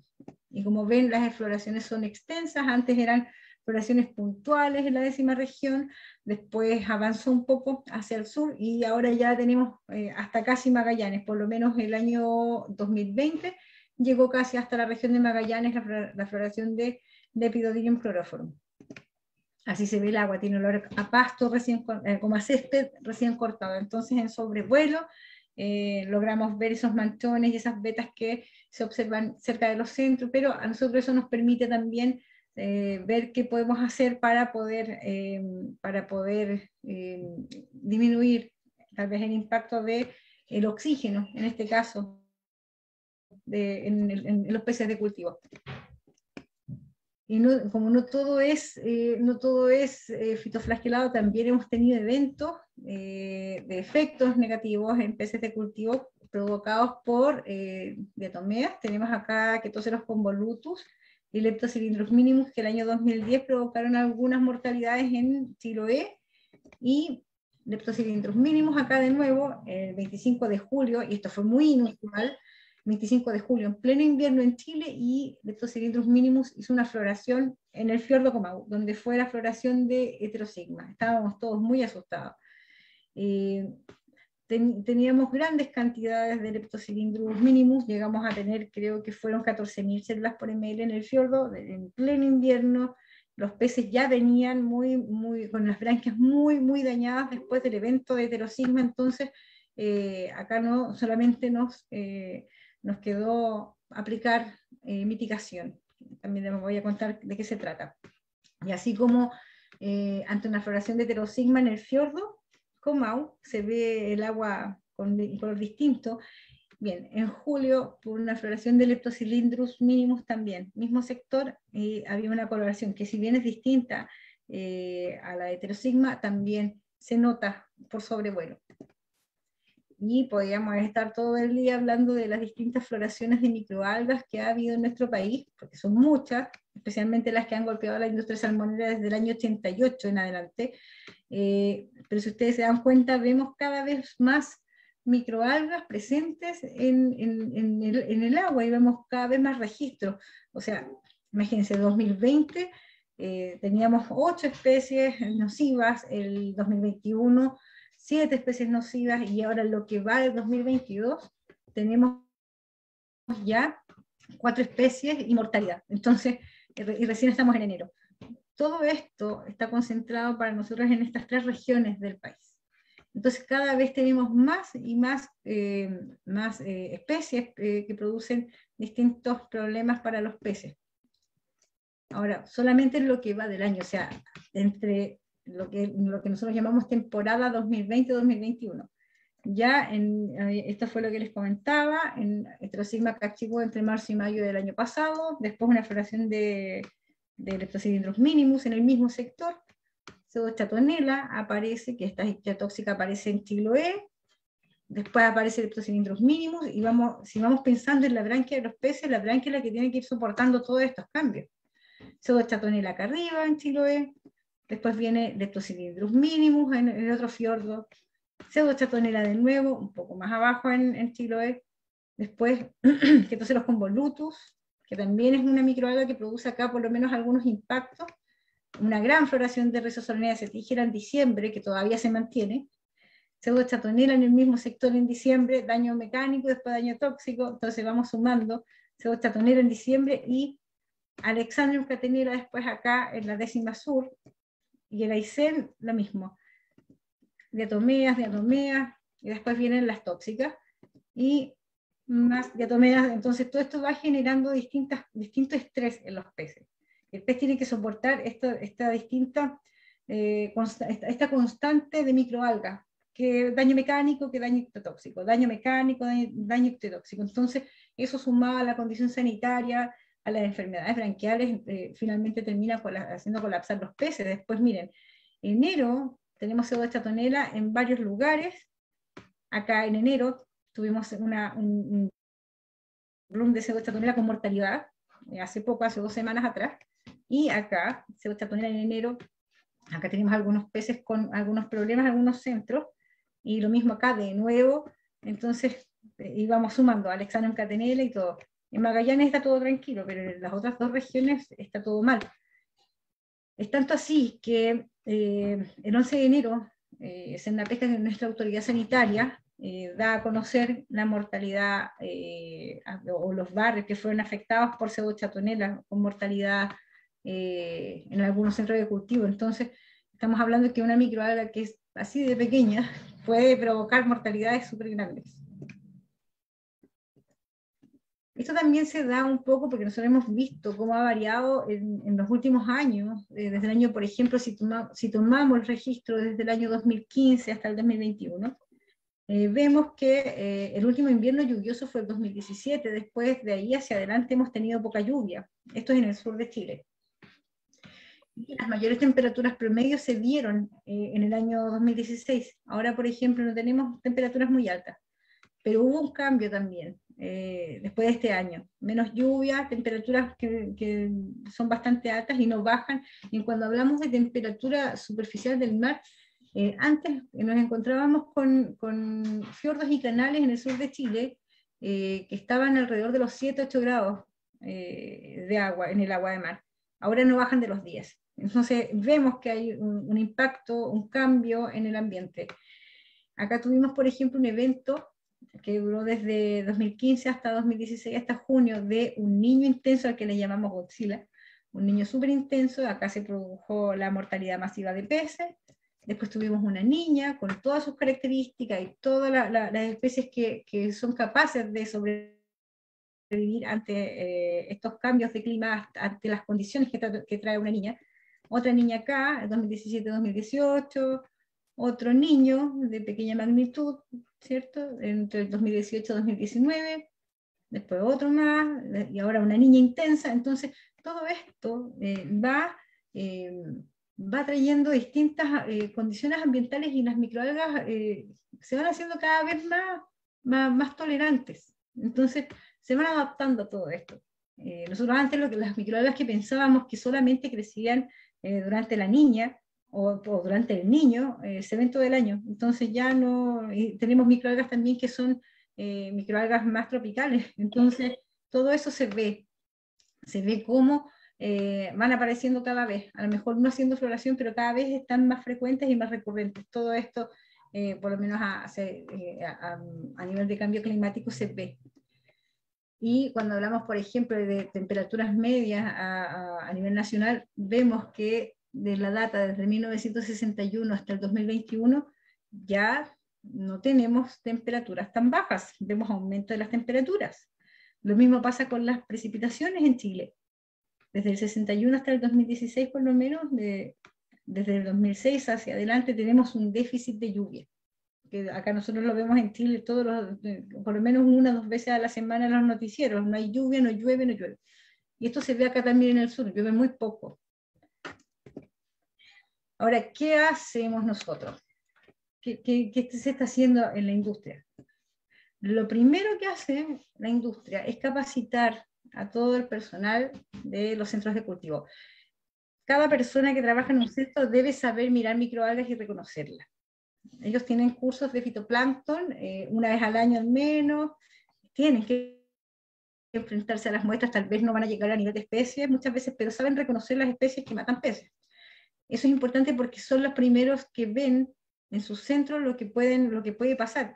Ellos están en contacto con los peces, entonces la, la, la lectura de los centros de cultivo toma importancia porque acá se decide si hay o no alimentación, por ejemplo, o si hay o no baño de peces, si hay traslados, todo eso se ve a nivel de los chiquillos que ven acá ustedes cómo están mirando microalgas en un curso. Eh, ¿Qué hacen ellos? Lo primero que ven son ellos, no nosotros los laboratorios externos, no tenemos, el, no tenemos eh, cómo.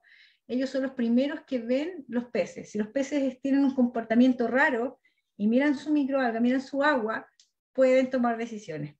Por eso son, es tan importante que ellos puedan eh, revisar esta lectura de fitoplancton en los centros. Cuando disminuye la, la transparencia del agua, lo mismo cuando aumenta la mortalidad de los peces en un centro, cuando aumenta con respecto a la mortalidad diaria, cuando avisan que hay alguna floración algal en algún otro sector. Todo esto a ellos les da, eh, y a todos en realidad, nos ayuda como para saber eh, la magnitud de un evento o si existe alguna especie que pueda ser nociva y que pueda finalmente traer algún, eh, algún efecto negativo para la industria. Lo segundo que se hace son los sobrevuelos. Si ven ahí, eh, salieron a sobrevolar para poder mirar las, eh, las manchas, las manchas, ¿cierto?, que se pueden eh, estar cerca de un centro de cultivo. La idea, por ejemplo, es salir a ver si estas, estas coloraciones diferentes pasan por sobre el centro o están cerca del centro y poder finalmente tomar decisiones como ver si puedo prender mi sistema de mitigación, dónde saco mis muestras, si está muy cerca de, de mis peces, etc. Entonces esto también es algo que ha adoptado la industria como cosa frecuente.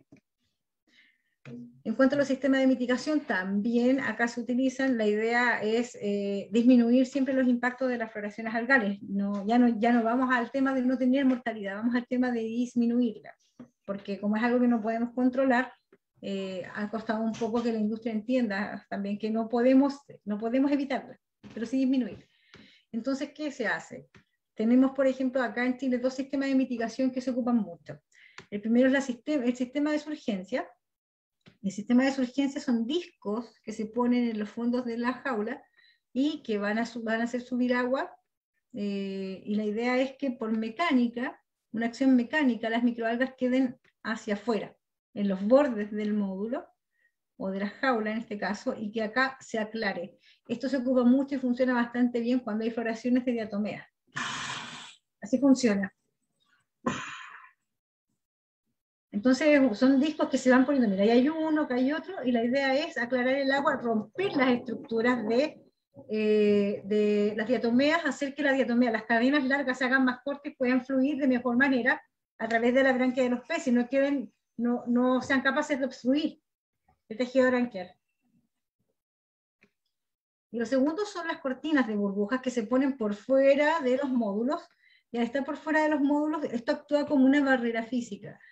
Pero esto funciona bien siempre y cuando haya un sobrevuelo, ya sea con avioneta o con dron, que eh, nos permita visualizar que la microalga no esté ya dentro del módulo. Entonces, una vez que se está cerca del módulo, eh, se puede activar siempre y cuando también eh, haya un análisis previo de fitoplancton acá, se puede activar y así se evita que estas microalgas ingresen, que sería un poco como esto, como esta cortina. Aquí se ve un poco, es una, una cortina de burbujas. Bueno, con todo esto ya tenemos un poco definido también en la industria cuándo se prenden los sistemas de mitigación y cuándo no. Por ejemplo, si hay eh, microalgas que son de este tipo de, de, fitoflagelados o estas estructuras blanditas que se pueden romper hasta con la luz del microscopio que nos ha pasado. No, ahí no se prende la mitigación. Ni para las carenias, ni para Alexandrium, ni para pseudochatonera, ni coclodinium, nada de eso. Cuando se prenden solamente cuando hay eh, microalgas del tipo diatomeas, que son de, eh, microalgas que necesitamos romper. Las blanditas no necesitamos romperlas ni estresarlas, pero las la de estructura ya con sílice sí. Entonces ahí podemos prender las mitigaciones y eso es una cosa que ya tenemos un poco definida en la industria. Por otra parte, eh, después del 2016, eh, yo les contaba que hubo un antes y un después de la floración de chatonela. Y antes todo era distinto porque nadie, o sea, nadie reportaba nada a la autoridad sanitaria. Ahora, después de ese año, el 2017, la Pesca, el Servicio Nacional de Pesca y Acuicultura, decide que eh, para poder eh, fluir mejor o hacer fluir mejor la información la toma de decisiones, eh, ellos necesitan saber qué hay en el agua. Entonces, promueven, promulgan una, una, resolución que es la 2798 del año 2021, 98, perdón, del año 2017, y después el 2019 sale una modificación que es la que ocupamos actualmente, que es la 135.338, donde sale la tabla de nocividad. Entonces, nosotros acá sabemos que todas estas microalgas que están en esta tabla, debemos informarlas al servicio. Entonces ya el Servicio eh, Nacional de Pesca va a tener una idea de más o menos lo que está pasando en ciertos sectores y eh, ahora ya los trámites de traslado de peces y todo son más expeditos. Entonces, algo, algo, se ha, algo ha quedado, algo bueno. Acá están las microalgas con las que trabajamos nosotros. Hay una resolución anexa también para algunos barrios donde se han incorporado un par de especies, eh, pero trabajamos todos con esta, con la 135.338. Entonces, esto a nosotros nos permite eh, saber que con estas concentraciones, por ejemplo, cuando encontramos una pseudochatonela, se le informa servicio. Cuando encontramos, eh, encontramos un gimnodinium, se le informa al servicio. Cuando encontramos, encontramos por ejemplo, 401 Eucampia zodiacus, debe ser informado al servicio. Entonces el servicio ya tiene una base de datos importante. Y eso es, chicos. Muchas gracias por su atención. No sé si tienen preguntas.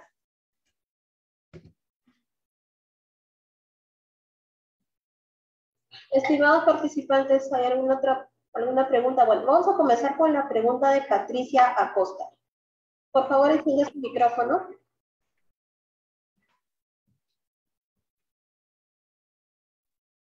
Sí, buenas tardes. Hola. Me quedó en, me generó curiosidad si la floración de Alexandrium catenela eh, provocó la mortalidad de los salmones por, por la producción de toxina o por algún otro efecto. Desconocía que era ictiotóxica. Ya, mira, nosotros también nos pilló muy de sorpresa porque antes pensábamos que era la, era la toxina. Eh, pero después de varios estudios, de hecho hay estudios hechos por Hagreff, por, por Dorantes allá en, también en Nueva Zelanda, por Mardones también cuando estuvo allá, que trabajaron con la cepa de Alexander Catenel y se dieron cuenta de que no es la toxina la que produce la mortalidad de los peces, es, son los productos, son los productos metabólicos que producen Alexander, aparte de la toxina, o sea, doblemente mala. Por una parte produce paralizante y por otra parte, cuando se estresa, que eso lo hemos visto también nosotros en bioensayos, que hemos hecho bien pocos, pero hemos hecho bioensayos donde hemos visto que ante el estrés también produce, entre, entre tantas cosas, estas eh, especies de oxígeno reactivas que producen estrés oxidativo. Entonces, al hacer eh, estudios con líneas celulares de branquia, eh, se, trabajaron con macedrado y se dieron cuenta que era eso, no la toxina, eran los, los metabolitos. Ajá, muchas gracias. Y otra consulta. Hablaste de una floración de heterosigma. Sí. Que era posterior a una floración de diatomeas importante. ¿Puede ser? Sí, hubo una floración de leptocilindros mínimos y después una floración de heterosigma el fiordo. ¿Y cuál podría ser el nexo entre una... Los metabolitos. los metabolitos. Siempre, las diatomeas algunos metabolitos y, algunas vitaminas que se ocupan después por los flagelados para poder hacer floración. Y eso nos pasa siempre. Eh, pasa siempre que, eh, por ejemplo, cuando fue la de pseudostatonera, antes también hubo el leptocilindros, pero era el danicus. Termina danicus, aparece pseudostatonera. Después, pseudostatonera no le quedan cosas, deja crecer a danicus. Después ya se aburre de danicus porque puede crecer, vuelve a crecer pseudostatonera. Y así vamos viendo cómo es muy mal portada porque se aprovecha del Danicus para crecer. Todo. se aprovecha, se aprovecha todo. Sí, aprovecha, y aprovecha todo tipo de metabolitos para poder crecer. Ellas toman, hay que recordar que necesitan trazas de nutrientes, entonces lo que le deja eh, el leptocilindro, lo que le dejan estas floraciones, lo, aprovechan a, a, full. bueno, muy bien, muchas gracias. Continuamos con Melillán Patricia. Hola, buenas tardes. Yo quería saber eh, si estaban haciendo los monitoreos los chicos con microscopio y demás. ¿Cada cuánto se realizan esos monitoreos de fitoplancton? Perdón, los monitoreos de fitoplancton. Los monitoreos ya. En los centros de cultivo ellos deben ver las muestras diarias. En la mañana, al mediodía y en la tarde. En época de invierno la ven, muestras todos los días, pero en las mañanas. Tiene, ¿Por qué ven todos los días? Eh, y ¿Por qué es rutinario? Porque antes de alimentar deben, eh, ellos deben ver, sus muestras. Aparte de eso, deben derivar muestras a los laboratorios para que nosotros podamos, em, eh, podamos decirle sí, era lo que estabas viendo. Porque desde que sale la muestra de un centro de cultivo hasta que llega a los laboratorios, al laboratorio que sea, hay una pérdida de tiempo importante y no pueden esperar nuestro resultado para alimentar. Entonces, ven muestras todos los días para poder tomar decisiones rutinarias diarias y verifican sus resultados enviando muestras al laboratorio externo. En algunos casos envían muestras todos los días, cuando, son centros cercanos o en otros, por ejemplo, eh, envían muestras una vez a la semana, dependiendo de la empresa. Pero el fitoplancton es monitoreado siempre. Entonces, acá tenemos un terror inmenso, eh, hay un respeto al fitoplancton porque hemos tenido mucha pérdida. Es tanta la pérdida que hemos tenido que de verdad eh, se ha hecho necesario eh, tener los guardos y tener las lecturas todos los días y nos ha permitido también armar mapas de riesgo con las mismas lecturas. Bien, y los casos de mitigación que tuvieron son para diatomeas, ¿no? En el caso de que haya una floración de Alexandrium o Carenia, ahí en ese caso no se puede hacer nada. Nosotros lo que hacemos, porque eh, lamentablemente, mira, el muestreo está hecho en el mismo módulo donde se, se ponen los peces, entonces ya es tarde. Como sacan la muestra de los módulos, eh, ya, y ya es tarde, eh, y no, no, alcanza, por ejemplo, a hacer un sobrevuelo para poder ver los manchones que están alrededor. Entonces lo que se recomienda siempre es no mover el agua y no alimentar.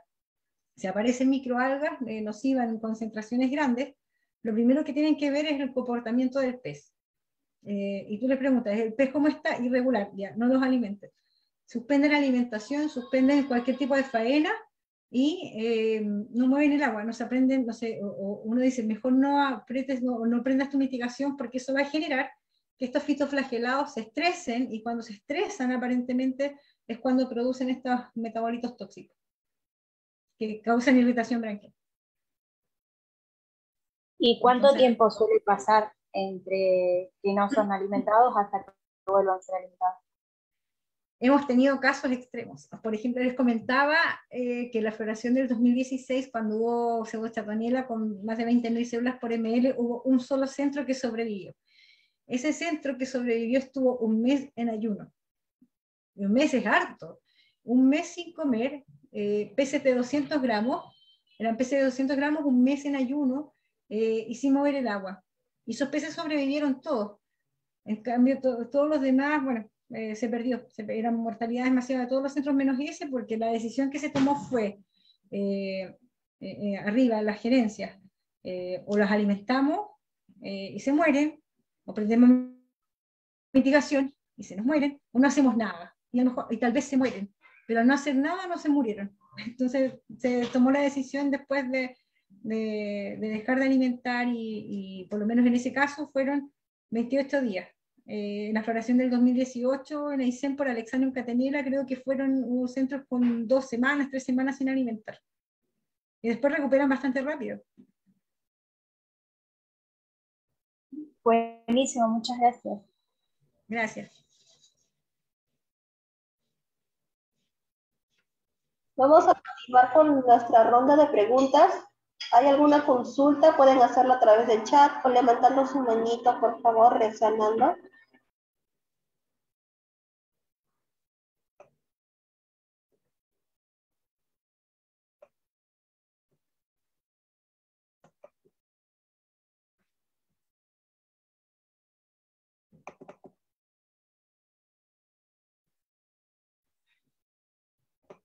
Solo hay comentarios de los participantes. Dice César Parra, excelente exposición.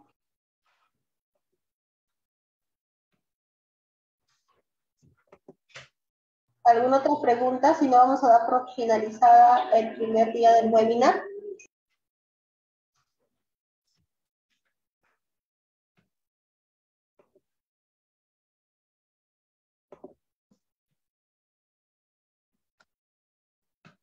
Bueno, agradecemos a, la magíster Fabiola Villanueva por brindarnos el tema efecto de la FAL en la industria salmonera chilena. Muchas gracias. Este, ¿Quiere hacer algunos comentarios finales, magíster Fabiola? Eh, sí, muchas gracias a, a, ustedes, chicos Fitoland. Eh, esta es una tremenda instancia para, eh, nosotros, para poder contar un poco de lo que pasa acá, para poder compartir. Ya hemos tenido cursos juntos. Eh, yo, Darme para poder compartir eh, un poco con los expertos también, como es la doctora Reguera, eh, y para poder conocer la realidad de otros lados. Nosotros también hemos visto muy buenos contactos con, con otros países a través de ustedes, así que se agradecen las instancias y, y agradezco la, la, invitación. Hay una consulta de César Parra, dice, ¿cómo, cómo ve, doctora, la expectativa del cambio climático a 10 años? El cambio climático, por lo menos acá en la zona de fiordos y los canales, eh, se ve bastante, bastante triste, no, sé, cómo definirlo. Eh, como les comentaba, hace unos años atrás podíamos ver, por ejemplo, temperaturas del agua de, de 7 grados, 8 grados. Hay que considerar también que los salmones son peces de agua fría. Eh, no están acostumbrados al agua cálida de, del mar. Eh, actualmente en el, en el invierno nosotros temperatura no baja de los 10 grados, 11 grados, en la misma zona de canales y fiordos, entonces eso va a traer siempre una consecuencia negativa. Las disminuciones también. Por una parte tenemos la eh, baja de lluvias, por ejemplo, que eh, impiden, si, si, hay más lluvias, tenemos más ingresos, más input de nutrientes hacia los cuerpos de agua, ¿cierto? Que el mar, y con eso podemos tener floraciones intensas, pero no tener, lo malo de tenerlas es que se mueren los peces y nos intoxicamos. Lo malo de no tenerlas es que es productividad primaria que también se pierde. Entonces, eh, se ve un panorama no muy, no muy positivo, por lo menos en esta zona. Bueno, hay otra última pregunta, el último momento, del ingeniero Edwin Maldonado Blanco. Dice, dice, ¿estos fans también causan pérdidas en otros horizontes? Eh, en otros horizontes, o sea, las FAN causan pérdidas en todos lados, entre pérdidas humanas, pérdidas de mamíferos y animales eh, acuáticos, por ejemplo, como las ballenas, en el caso de las productoras de toxinas paralizantes, ya hemos tenido acá en el sur de Chile igual eh, eventos de mortalidades de ballenas que se han demostrado que son productos de las FAN. Y pérdidas en otros peces también a nivel mundial. En otras industrias salmoneras, por ejemplo, los noruegos, los escoceses, los canadienses, los canadienses son tan golpeados como nosotros por las FAN. Eh, y además en otras especies, en los pargos, por ejemplo, yo trabajo con una industria costarricense que tiene problemas intensos con las floraciones algales nocivas, muchos. Tienen especies que son bastante, bastante complicadas, como Coclodinium, como Gymnodinium catenatum, como Carenia brevis, que acá no, no la tenemos, es la única carenia que no está en Chile. Eh, pero ellos tienen muchos, muchos eh, problemas eh, con FAN. Y no solamente floraciones algales nocivas de eh, microalgas de agua de mar, en agua dulce también se dan. Entonces hay, eh, acá hay un tema grande y vemos que cada vez son más recurrentes y cada vez es como estar coleccionando microalgas en todos lados. Eh, lo que por ejemplo acá eh, puede ser un mayor impacto para la industria salmonera y para los viticultores, en otros lados también ven afectados sus recursos eh, cultivables, como en el caso de pargos, de, tilapias, etc. Son malas. Ahora sí, doctora eh, Fabiola Villanueva, muchas gracias. Vamos a poner por culminada el, primer día del webinar internacional gratuito de locales músicas. Si desean eh, acceder al certificado, ahí se va a estar compartiendo un link y confirmando su asistencia. Agradecemos nuevamente a, a la magíster Fabiola y a la doctora Beatriz Reguera Este, vamos a tomar una foto final, por favor, le pedimos a todos los participantes que prendan sus camaritas.